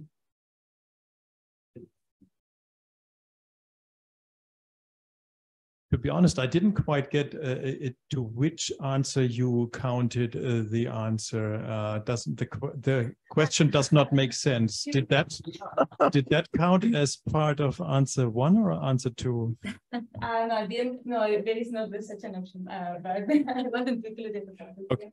So, uh, well, I, I'm not going to say what, that this is the correct answer or this is the, this other, but instead, um, I like to uh, talk about more about the origins of talking about topological light when we talk about uh, vortex beams and maybe you can- you would change your mind or we can uh, discuss it later.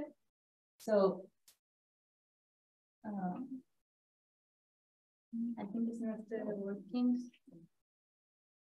Okay. Okay. So why, why are we connecting vortex beams with topology? What's the historical origin of, of this?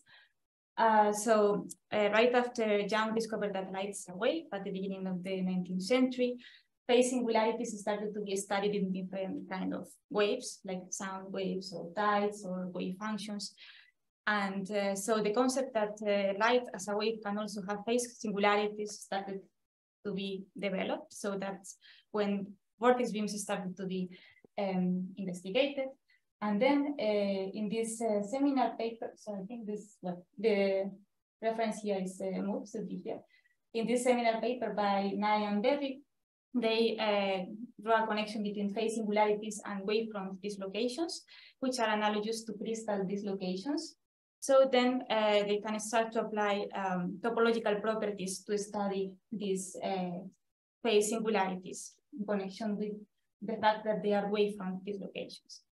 And my, I think that this, this is kind of the origin where people started to talk about topology. And then the, the definition of the topological charge to describe a vortex beams also uh, was uh, raised.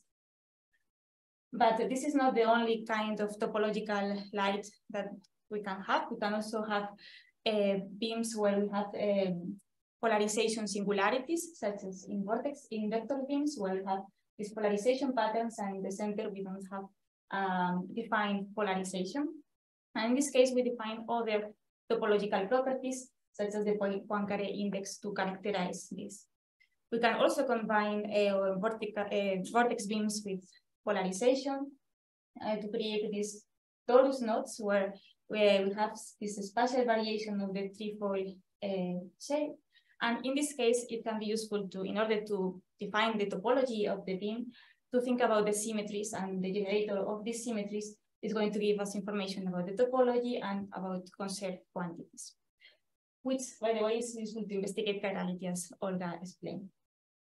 So basically, uh, depending on the different kind of light beam, we can define different topological properties and apply those to uh, understand our beam or the conserved quantities that we have, the symmetries that are going to result from our nonlinear interaction.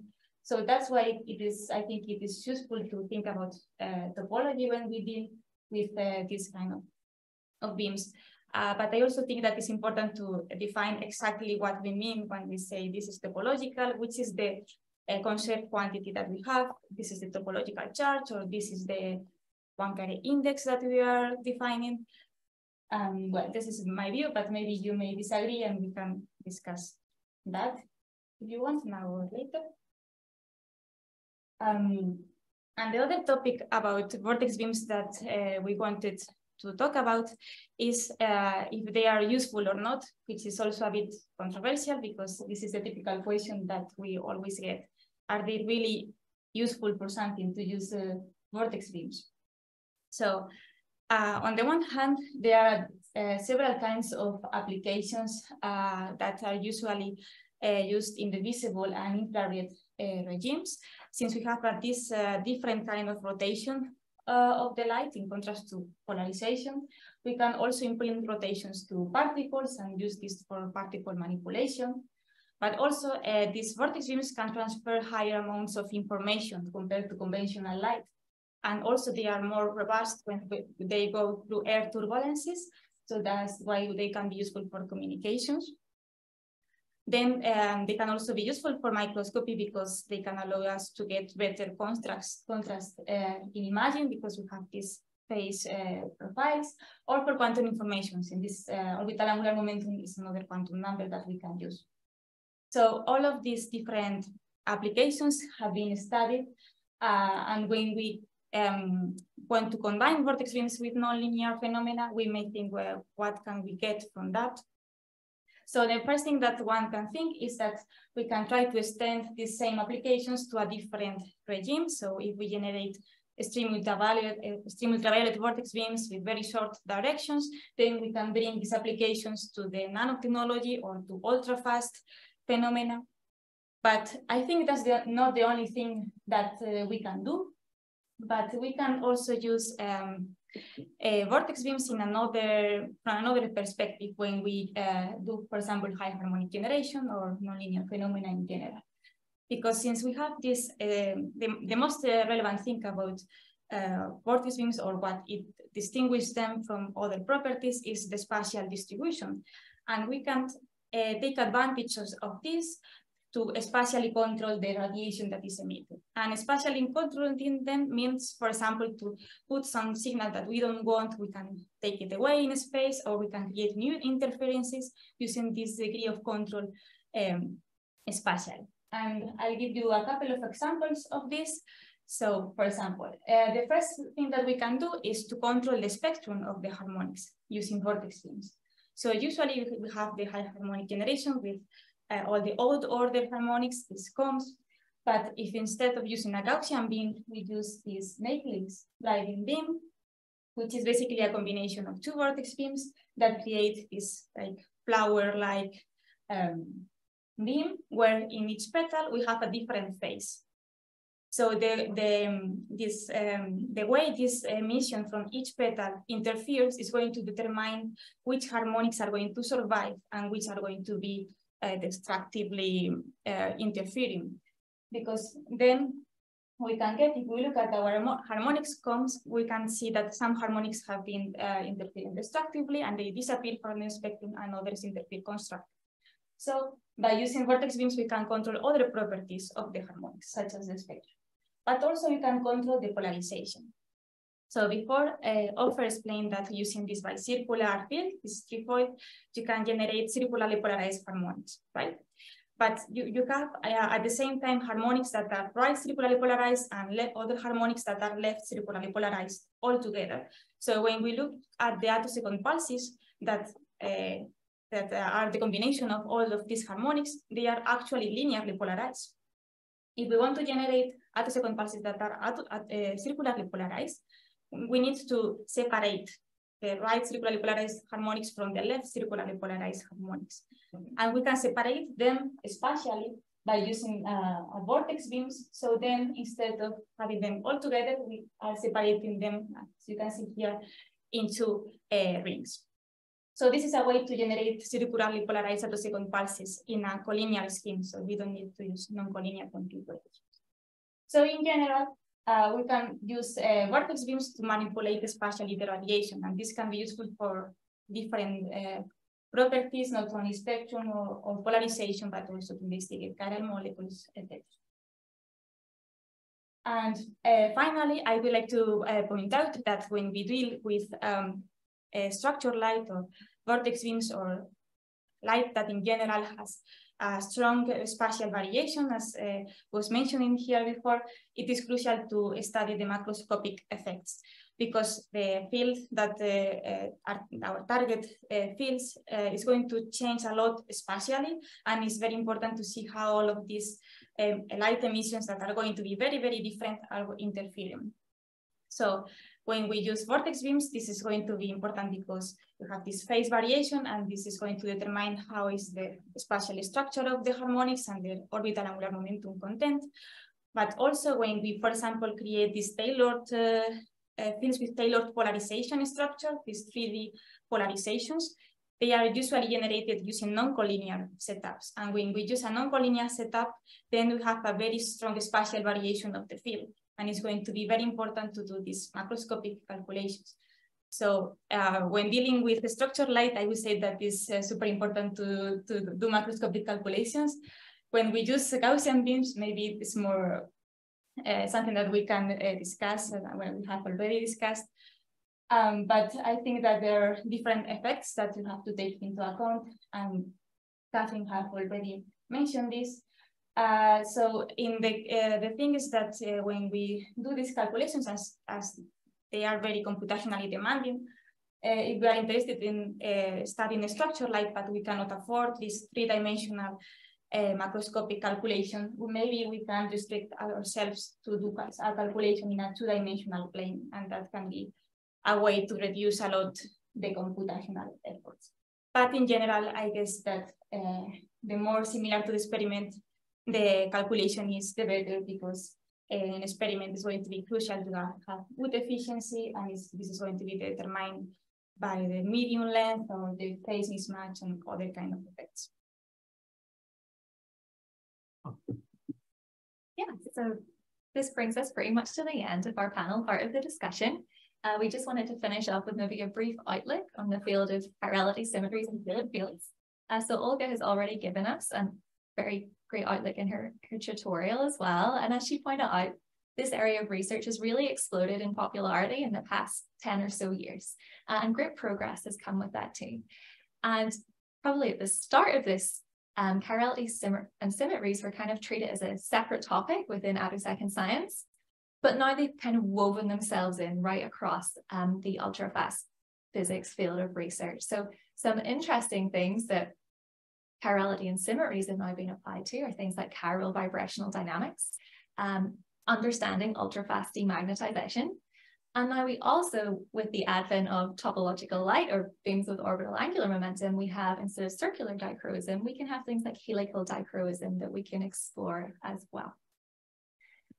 So this brings us to the end of our panel part. Um, next, we have some quick, in just the remaining time, um, Manfred will keep us on track. We had some discussion prompts as well. So a few back and forward questions between the four of us, um, but where we'd also encourage the audience to participate too. And to come back to the biggest topic of contention, which maybe doesn't fit the theme too much, um, is the value of the single atom versus the macroscopic response. Okay, so for some of us, probably us atomic theoreticians, right? We think the single atom response is the most valuable. And perhaps microscopic effects are just consequences of the experimental set. Okay. Uh, but Laura has found Laura has found out, okay, for topological light, of course, right, you have to account for the overall spectral distribution of the system. So I'm going to ask Dino, so nobody else was brave enough to share their opinion earlier.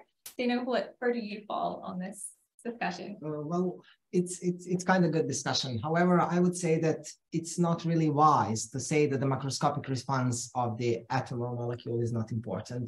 Definitely, it's not wise. It can affect the harmonic spectrum, for example, quite a lot. Uh, however, this is my this is why I'm on the side of the microscopic single atom response.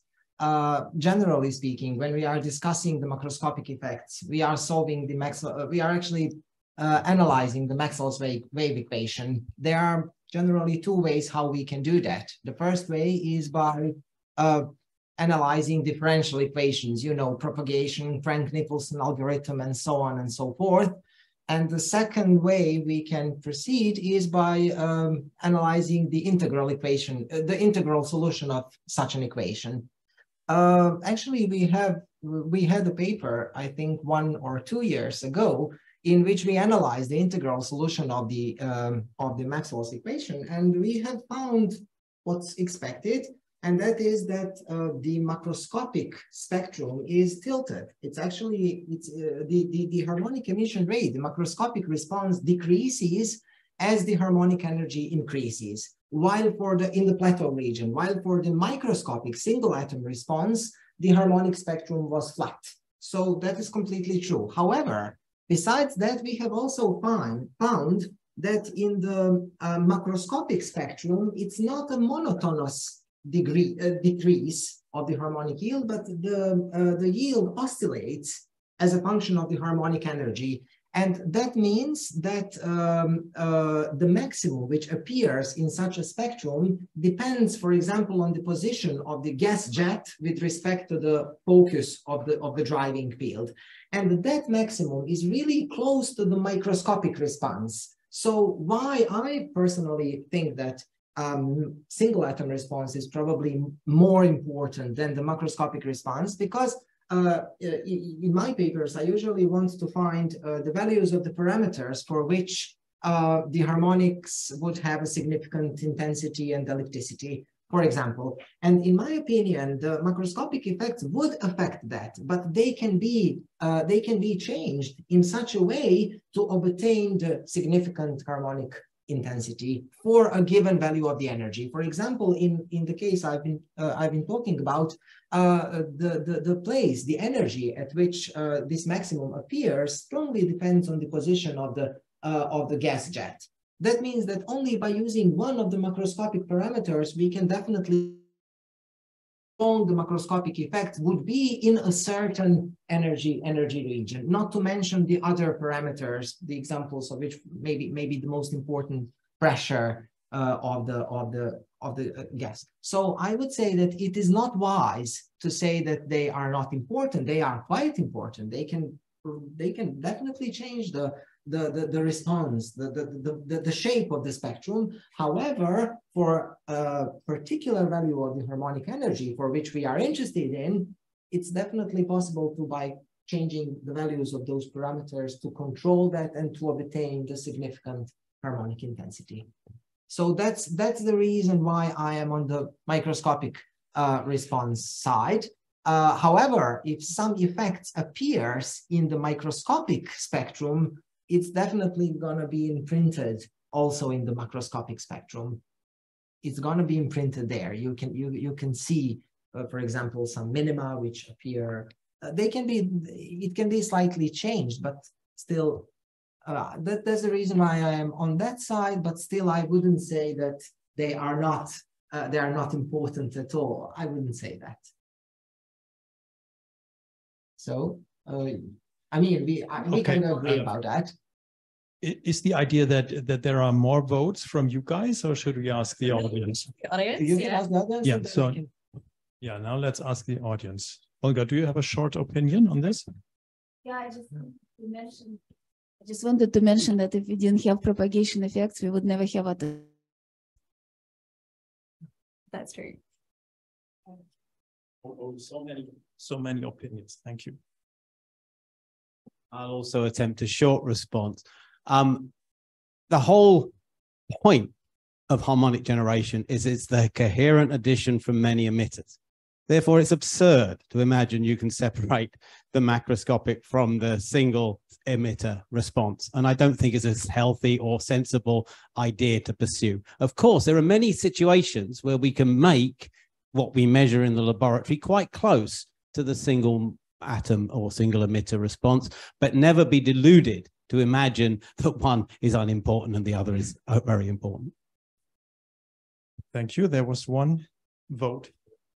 maybe not a vote, but a question kind of following up on your response. Do you think then um, the uh, single atom theoreticians have a bit have a should have a little bit more of a responsibility to try to describe what more specifically what conditions in the lab they would want or need uh, uh, to kind of get out, get out those responses. To be quite honest, there is a huge number of papers about these macroscopic effects, uh, a really huge number of them, uh, discussing the problem from different perspectives, different points of view. Um, am I satisfied with all, all those approaches? Yes, and and yes and no, I think that there are a lot of more things to do and to analyze, but still uh, the field has been explored quite extensively and kinda it's like not really interesting these, these days anymore. Okay, so I, I think I would actually like to turn this question around because I mean, I think you're putting it like um, we do the single atom response, that's important, and then we see if the macroscopic world um, will change anything or not. I think maybe we should take the question the other way around also. Are there any effects that maybe can be completely understood just by doing the macroscopic response? Maybe, um, maybe in, in what Laura has explained, something like this can happen. And maybe it's not important how the single atom response looks like. So uh, would you say such a situation exists? Yeah, I mean, sometimes if, if you just study the symmetries of your system, when you have a topological light, you can, from that, determine the symmetries that the light emission is going to have. For example, and that is, that is related to the macroscopic shape of the beam. So in the sense of the symmetries, you can, um, for example, define some conserved quantities that you're going to have. Uh, it's a bit difficult to think if you don't have any information about the single atom response at all, how is them going to be the how the macroscopic uh, emission is going to be apart from that geometrical uh, intuition that you can get from symmetries. I know, maybe there are other options. Okay, so maybe we should continue, otherwise we will uh, not get through the questions. Sure. So this is a question for Laura. So she's presented some really nice applications of beams with orbital angular momentum. Um, and she has, you know, given some of the positives of why we might want to use them over other different configurations of light. But are there any applications for which beams with orbital angular momentum are the only kinds of beams you can use? So is it worth the hassle of having to work with this topological light either in the lab or as a theoretician? What's the one sort of defining thing that will set them apart, the one application? Um, so um, in general, I think uh, using, uh, for example, vortex beams is using a different tool to what uh, we all had in, uh, already. For example, uh, we, when we manipulate the polarization or the frequency or other properties of the electric field, we are always manipulating properties that are local. And uh, when we manipulate, when you use vortex beams, we are using a field where we have, are taking advantage of, of the spatial distribution in a way that is uh, still stable and robust. So it's a different kind of tool. So I think they are complementary. We don't, it's different, it's difficult to think, okay, no, but we cannot, uh, we are going to forget about vortex beams, let's use polarization instead. Maybe in some cases you can do that. And for example, to create um, the circularly polarized harmonics, we can also use the polarized attosecond pulses, you can also use a non-collinear scheme uh, without using vortex beams. But this has also the, uh, some disadvantages or advantages depending on the case. But in general, it's like um, if you have a set of tools and polarization, for example, is the screwdriver, then orbital angular momentum is a, a range, which also implies rotation, but in a more macroscopic way. So you can uh, use different tools for different situations, and sometimes using vortex beams is going, is going to be very important and advantageous, uh, in such as in some of the applications that I mentioned, where you can get better results if you, you use vortex beams. So I think it's important to have all the tools, and then you can build whatever using them in different ways because they are different and complementary. Can I also add something maybe? So like I think the combination is really a powerful thing when you have both. Because like if you think about, okay, polarization is very important. It allows us to control the microscopic response. So once you have these topological beams or let's say macroscopic objects where you can control the light field, uh, in space, then you can also control the polarization in every point in space, right? So there's a bunch of examples, but like one paper comes to mind from, from the Corkum group where they do this tailored polarization with a vector beam, right? So they do an omega two omega field, which breaks this inversion symmetry in every point in space, but then the beam has this overall like polarization that's rotating around the vortex. So they can use this to control and, and generate like electric currents, you know, and magnetic fields. And so this is just like the combination of the two gives a very strong uh, tool. Yeah. Yeah, because um, using vortex beams is not only just having a different phase and that's it. As you said, you can use this spatial variation to vary other properties. Yeah. Uh, well, when you well, the phase it. is the polarization, right? I mean, that's Mhm. Any opinions from the audience?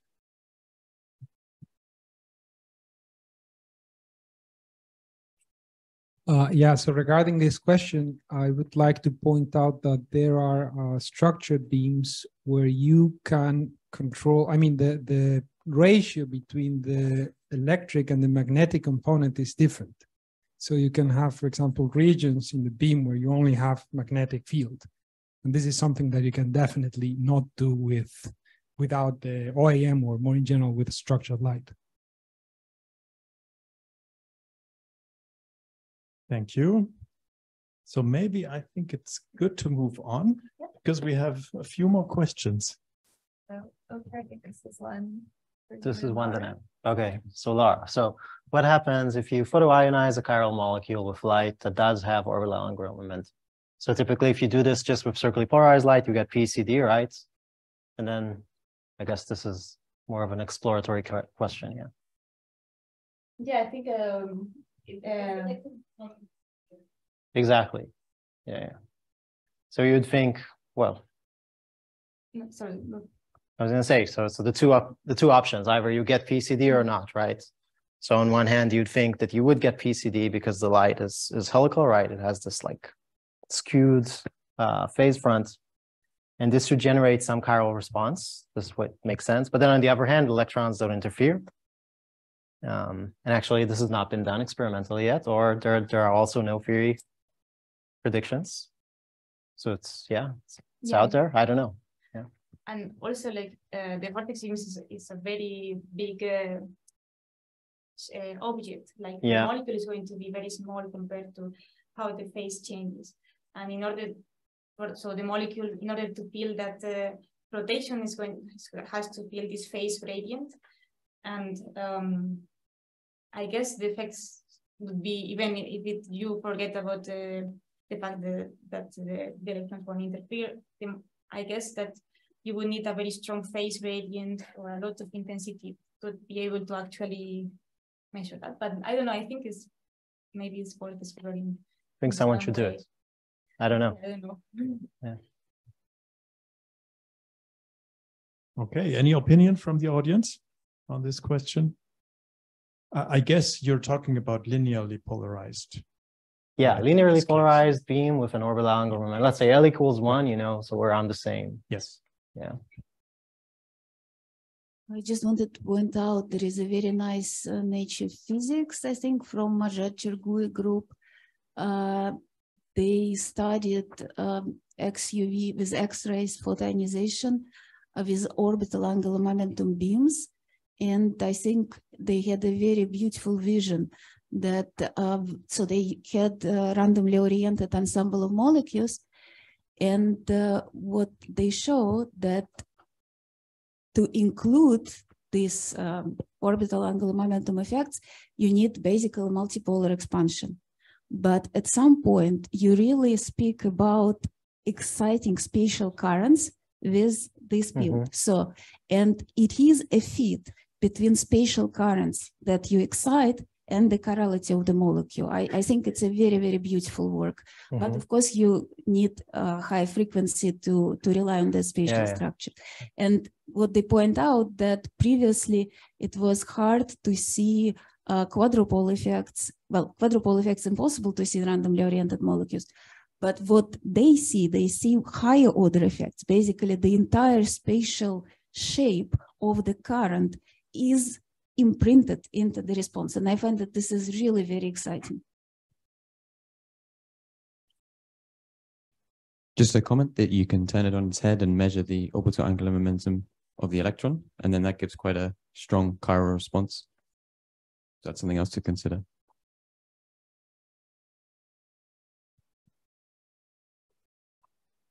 Okay, that mm -hmm. makes the people think. Yeah, yeah. I know. This, yeah, my mind blown. Yeah. Yeah, I guess so. Yeah. Okay, good. So maybe let's move on if you have Are we still more. on time? We have a couple more questions? questions. Okay, well, during our presentation, okay, uh, during our presentation, we have actu- actually presented the uh, high, we have actually talked about high order harmonic generation. And uh, in particular, my colleague and I, we are actually uh, calculating the harmonic spectrum using two different methods. My colleague, she's actually using um, uh, R matrix theory, and I'm using um, actually single active electron approximation, uh, an SFA, strong field approximation. And uh, this is my uh, my actually question: How how do we really need uh, full uh, R matrix theory with respect to the single atom single active electron response? This is, um, in my opinion, when we are talking about single active electron response, we are using as the ground state the wave function of the valence outermost electron uh, we can we can um, present that that function as a linear combination of some kind of a basis function or so on and so forth. However, in the R matrix theory, they are actually doing a lot more job. Uh, they are actually dividing the whole space into two regions. We had a lecture earlier today. Um, in the inner region, they are they want to ensure to have an multi-electron wave function. That means that correctly um, take into account the interactions between the electrons, between the active electron and all other electrons which remain in the vicinity of the of the uh, nucleus. However, in the outer region, uh, they neglect th those interactions. So my um, question is, is that really necessary? Because I would expect that the only differences appear in the low energy part of the spectrum and maybe some quantitative differences for the for the plateau harmonics and maybe the position of the cutoff. So um, the question is, yes, of course, that the results would be slightly different because you have a more complete description of the atom uh, exposed to the laser field. But how significant is that, that difference? Yeah, you know, I think for most applications um, or for most harmonic spectra that you will calculate, that is totally right. Okay, so things can be described well in a single atom response uh, through a strong field approximation, but there are examples of the manifestation of multi-electron effects in the harmonic spectrum. And these are the things, you know, unless you use a code capable of describing these multi-electron effects, you don't know if they're there or not. Um, so some examples include so some of the work I guess Hugo showed as well. So things now like XUV assisted or initiated high harmonic generation, where you can have perhaps correlation between inner and outer electrons can then affect the shape of your harmonic spectrum. That would be an important application, which you can't then get with a single active electron approach. Um, but I'd say, yeah, you're right. I, I did mention earlier, right? If I have a hammer, I think everything is a nail. I would do every single harmonic calculation with a multi-electron method. But at the end of the day, is it necessary? No, it's not. If we did expand the question though, and this is another point that Hugo made as well, I guess the R matrix of time dependence is kind of large selling point as well is that it's not just appropriate for describing strong field processes. Okay, so it can look at few photon or single photon processes like RABBITT as well. Mhm. And then it becomes a much larger, maybe more difficult question to answer is where do you invest your time and your effort in your code development in a maybe single use but or single application, but very accurate code? Or do you go for a more general one that maybe can answer some problems as efficiently or as well? Uh, just maybe it's my curiosity now. Uh, can you see the difference? For example, if you use, for example, neon atom, a very simple one, and uh, someone which uh, xenon, which is more complex, can you see the difference that here where you have more electrons, that the effects are more pronounced? Yes, I think there's that example. Is it the giant resonance? Um, Okay, because xenon, of- in yeah, yeah, I know that paper. I know that paper. Yeah, Yeah, That's the quintessential one. This, this is a very, it's a very bad example. Yeah. 'cause You don't need correlations. Yeah, you don't need correlations. It's a very bad example because it's, it's fully described within the single active. So you have a bunch of single active electrons, but they're not interacting. You just need them to interfere. Yeah. I have personally, I think, a lovely example, but it's not yet published. okay. There's some, there's some examples of like a potential, you know, secondary plateau in helium. It's not been Mhm. measured yet. And there's some other, some, you know, there's some example, like some modulations in the yields of harmonics or but I want to ask a critical question here. Um, I- mean, to me, the, the this choice of methods uh, it, it looks a bit random somehow, right? It's only two of, of many possibilities. Anyway, um, you yourself have earlier um, shown this question: If you put a linear molecule in a linearly polarized field, will the result be uh, elliptically polarized or not? And, and the answer was no. And uh, and I think you said that in the strong field approximation, you can get this answer. But if I remember correctly, this will depend a lot how you do the SFA in detail. You can do it in different gauges and, and different, uh, you can use dipole moments or velocities. And uh, I think if you do it in the wrong way, you will get zero actually. And I think it depends a lot how you do it exactly. So I would say for this question, I would personally say the SFA is not reliable because it can give you random answers. um, then, and I might even go as far as saying that maybe in that case, multi-electron effects can become important because like small changes of the Yeah, yeah, return of the electron could, to lead could the influence ellipticity. the answer. Would you agree with that? Uh, I would, um that's something what should, I should uh, think a bit more. However, what uh, I think is that they are elliptically polarized. Uh, but the, uh, the only effect is here, is the theory good enough to predict the uh, linear polar, uh, elliptical polarizations? They, the harmonics generated with molecules, they are uh, a linearly polarized field. They are elliptically polarized because that's spotted in, the, in an experiment. But it is possible that some that the theory is maybe not good enough to confirm that elliptical polarization. So that's possible. I I, I think I, I've never I've never worked with a velocity gauge, unfortunately, uh, but uh, I usually work with the length gauge, and so it still yes. depends. Good. I think we should, uh, I think we, we don't have so much time. Maybe we should move on. Uh, I think it's the last question. Yes. Sorry. Is it? The list. I think there is one more. Yeah, no, The next one's the last one, yeah. Super. Yeah. Oh, oh, sorry. Yeah. So this is uh no, no, no. Okay. Both on again at the same time. the, the question doesn't want to be asked. No. This is the problem. So this is a question for Ofer. Uh, what is your view on the topological light? What do you think that topological protector protected quantities uh, in topological light? Okay. I'm not sure I'm the qualified person to answer, but I will try. So I have an opinion. Um, but yeah, so is there anything topologically protective about topological? But this is connected to a deeper question, which is like, what is topological about so-called like orbital angular momentum light? Um, so I would say kind of mathematically, so you can define a topological invariance.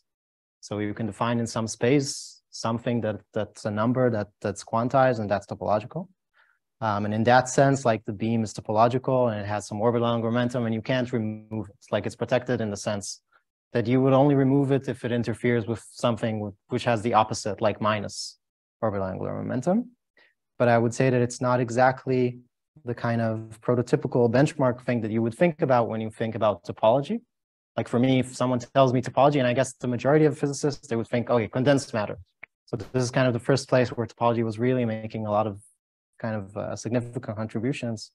Um, and there the story is different. So the protection there is different. So if you have like a condensed matter or some solid that that's topological, then its topological properties are inherent from its ground state. And this means that there's some associated like topologically protected states that are protected by time symmetry and they can't be removed from the system. But this is not exactly the same as what you have with topological beams. And another thing I think that is quite interesting to think about, if you try to think about like the topology of topological beams, is that like the singularity, so like the actual singularity of what you would think is topological. So it's not, as far as I understand, it's not a real singularity, right? So whenever you have some phase singularity, some polarization singularity, kind of the intensity of light in that place is always zero. Or you know, it's fine. Like the beam is always continuous. The electromagnetic field is always real and continuous. There's nothing really singular about it. Whereas like in the condensed matter case, let's say there, there is an actual singularity you can't gauge away. So like those two, I think are, are like good points to think about.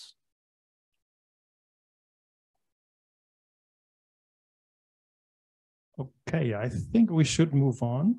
Uh, was this the last question that you prepared? And I think you just had this last slide. Good. Um, so first of all, let me thank these four brave people that they were going into this.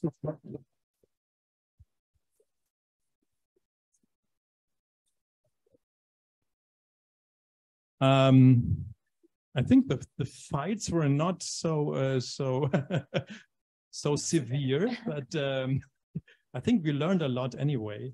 Uh, since we have spent a lot of time already, I think maybe it's good to move the discussion into the coffee break. If you have more comments, more questions, approach us, them, and and and ask. And uh, when do we continue?